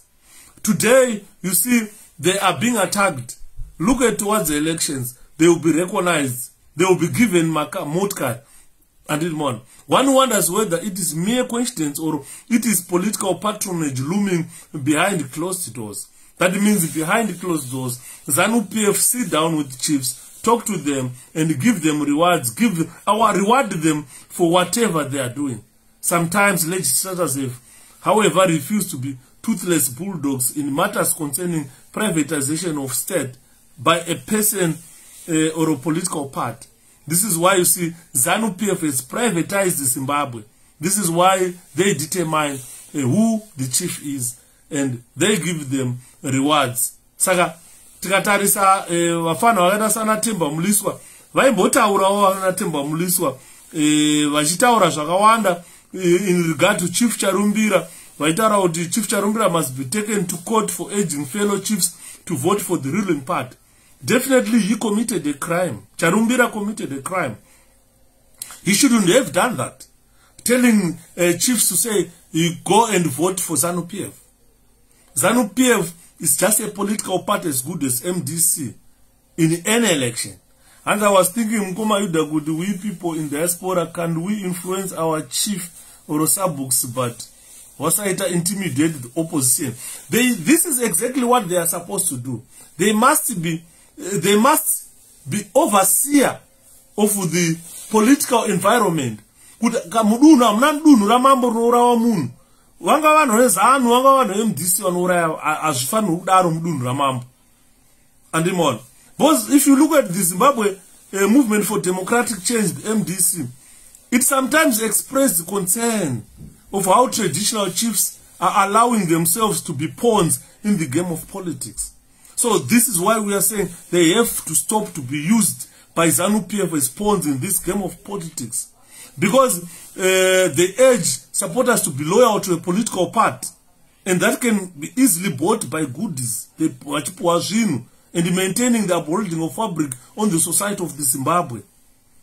So the identity of chiefs or the identity of masabhuku iwayo must not be by zanu pf but by the people of zimbabwe andiri mukuona saka pane zvinhu zvakawanda ladies and gentlemen zvinofanirwa kuitwa.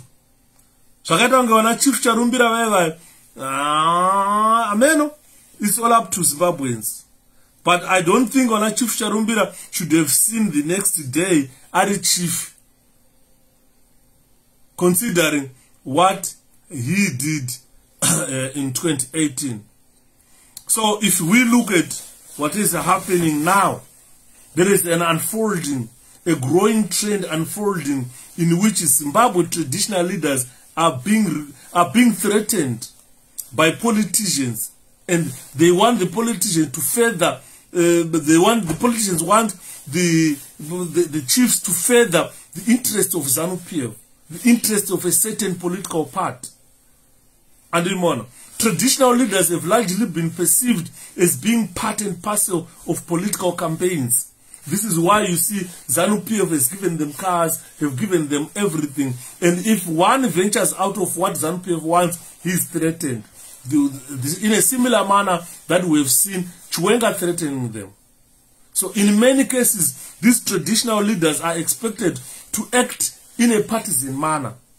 And that chief at the end admitted that he acted in a partisan manner. He, he at, at one time took it upon himself to go and quell down disturbances in ZANU PF to appease these, uh, uh, these new found bosses, these political bosses, Vagada Sana Chwenga. This behavior, ladies and gentlemen, it is against the, our constitution. The constitution of Zimbabwe does not allow the chiefs to be involved in politics, to be politicians. If you want to be a politician, kumura uchifi wedu, womira apo utaura kuti ndauda kuita wezanu because you can't be a member of a political party and participate in partisan politics whilst you are a chief.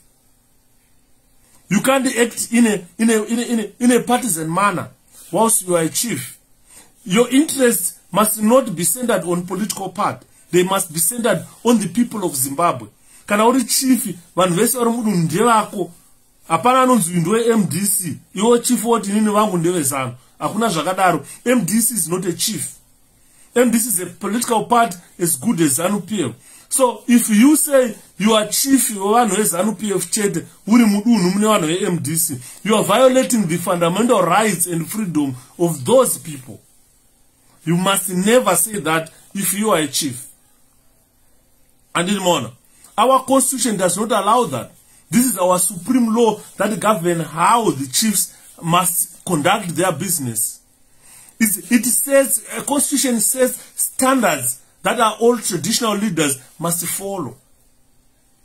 They must take into account the fact that eh, by any law, practice Zimbabwe, Zimbabwe is a country for every Zimbabwean. No matter what general election comes, a chief must be a chief of the people. So if you are chiefs, vari captured nezanu-pf so expect kuti hurumende ikachinja iwe wobva wabva paumambo ka nekuti uri chifu wezano hausi chief wevanhu. Hanzi i was thinking mukomaida kuti we people in the diaspora can we influence our chief or subs kuti vasaita intimidate the opposite we can. Andiona. But these are captured chiefs. So what we are saying to them is they must expect kuti if government change then they must leave the chieftainship because they are, they, these are political chiefs.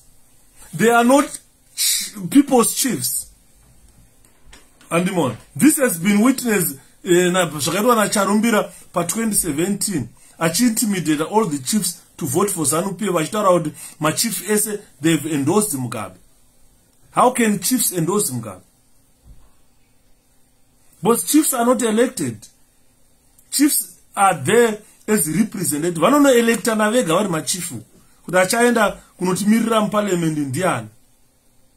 And so that's that behavior yakaitwa nacharumbira it incensed a lot of people.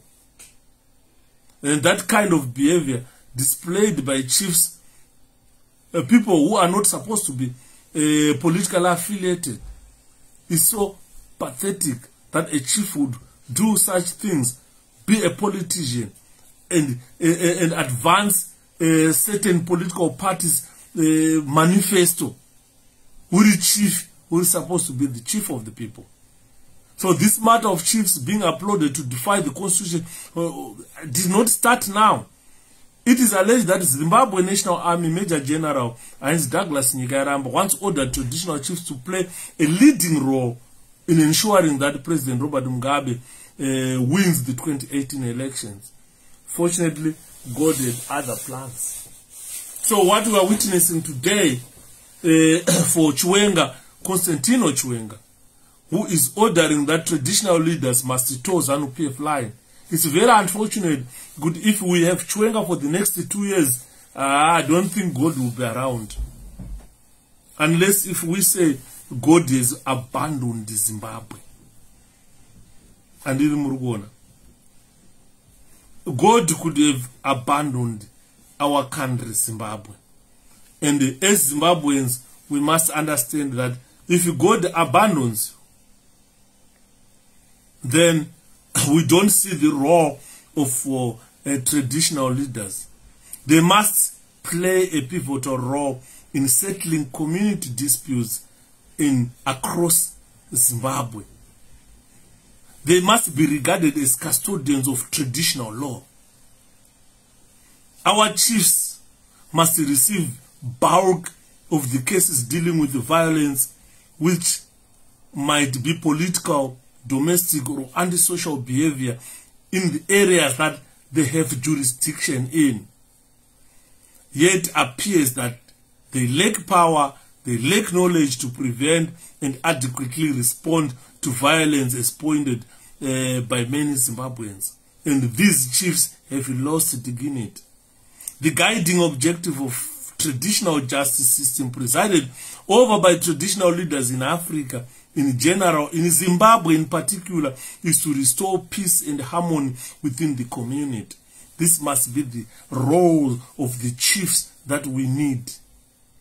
We don't need political chiefs. We need, we need chiefs who can restore peace and harmony within our community. Saka, kana tawana machiefs akutsiretenwa nachiwenga totoziva kuti they are not going to be partial So Chiwenga does not have capacity to build or to talk about our chiefs. Chiwenga does not have capacity.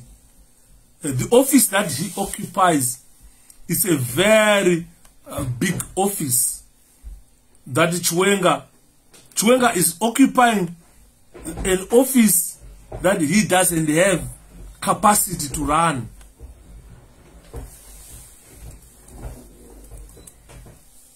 He doesn't have capacity to run that office.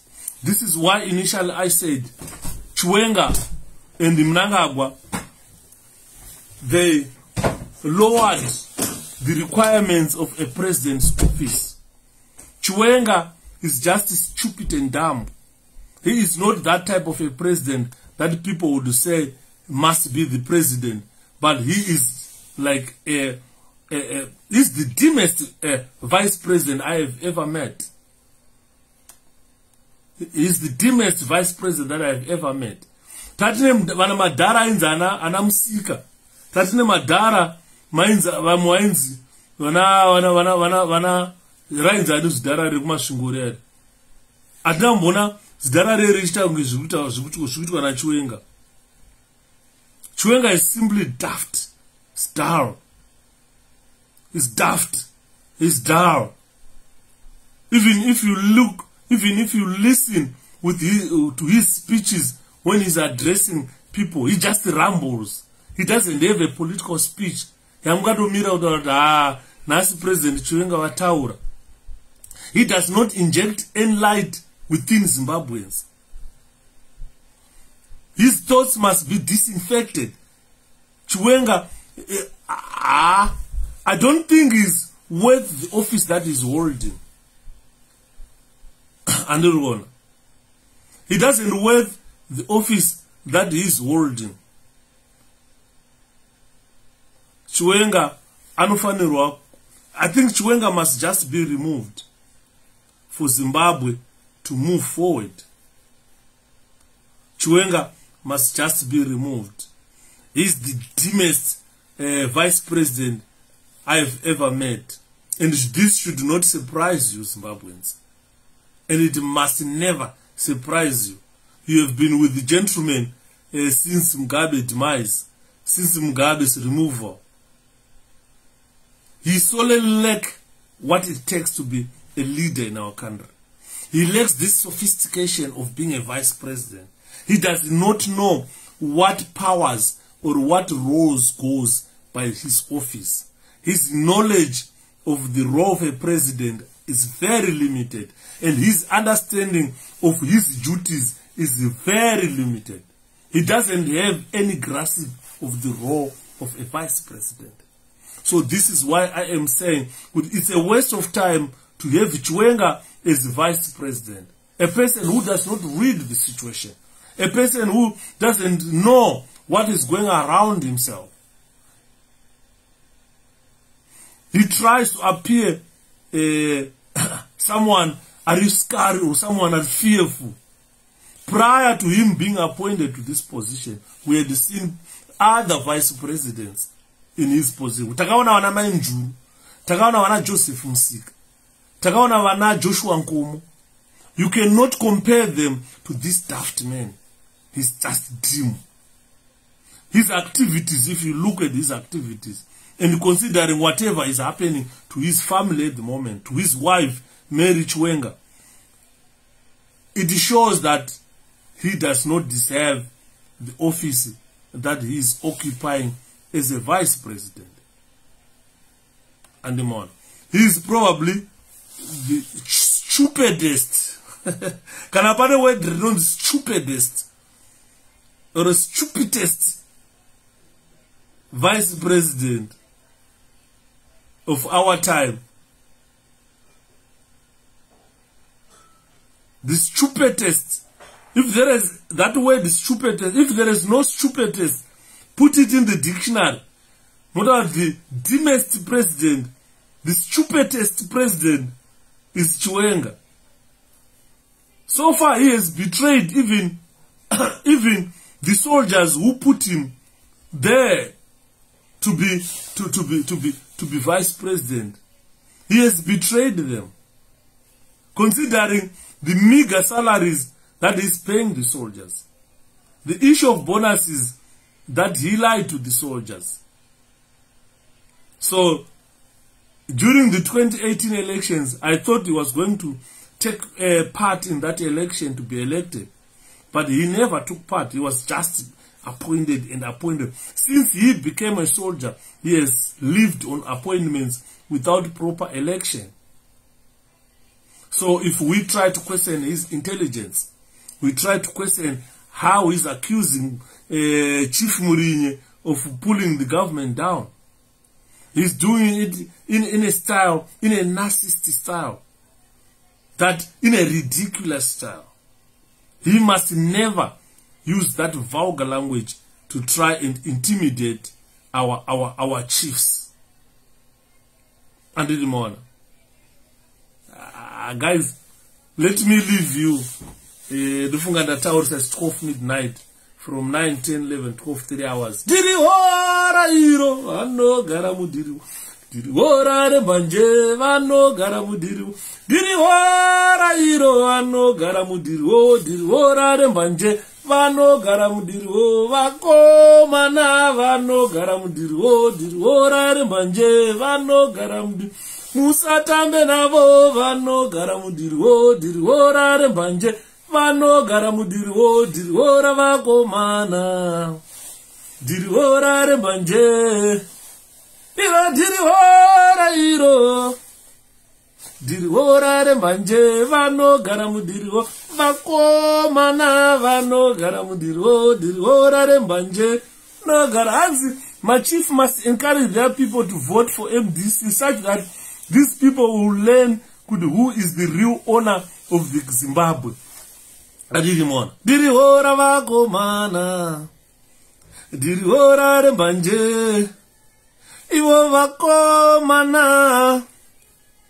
Ndirihora rembanje vanogara mudhiriwo musatambe navo vanogara mudhiriwo ndirihora rembanje vanogara mudhiriwo ndirihora vakomana ona dhirihora rembanje iro dhirihora iro dhirihora rembanje vanogara mudhiriwo vakomana vanogara mudhiriwo dhirihora rembanje vanogara mudhiriwo musatambe navo vanogara mudhiriwo dhirihora rembanje vanogara mudhiriwo dhiriwo haka kanondiitira manje.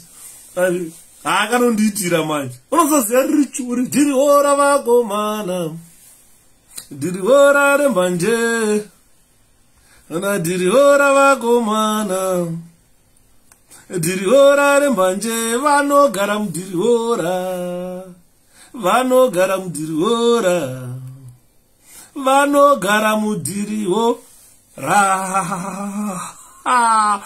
so kana pa pane those people suspecting that uh, uh, uh, chiwenga uh, is probably uh, the most stupid vice president we have ever had your suspicions have been proved right no one is smart but this gentleman uh, we, evidence has proved that has proved beyond uh, doubt that he is probably the most stupid uh, vice president Zimbabwe has ever had. I'm so sorry to use such language against uh, our president, our vice president, because of his behavior. He does not deserve the office that he is occupying at the moment. hanzi handina chekutaira nhasi chekutaura nhasi indawa mngomama jose sei musina chekutaura nhasi taurai tinzwe foni number ndapa vanhu. Vanhu vanombopopota e yuda. E boita foni yekuti tinenge tichifona.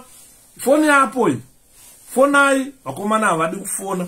Ndiriora vakomana. Iro ndiriora rembanje. Ivo vakomana.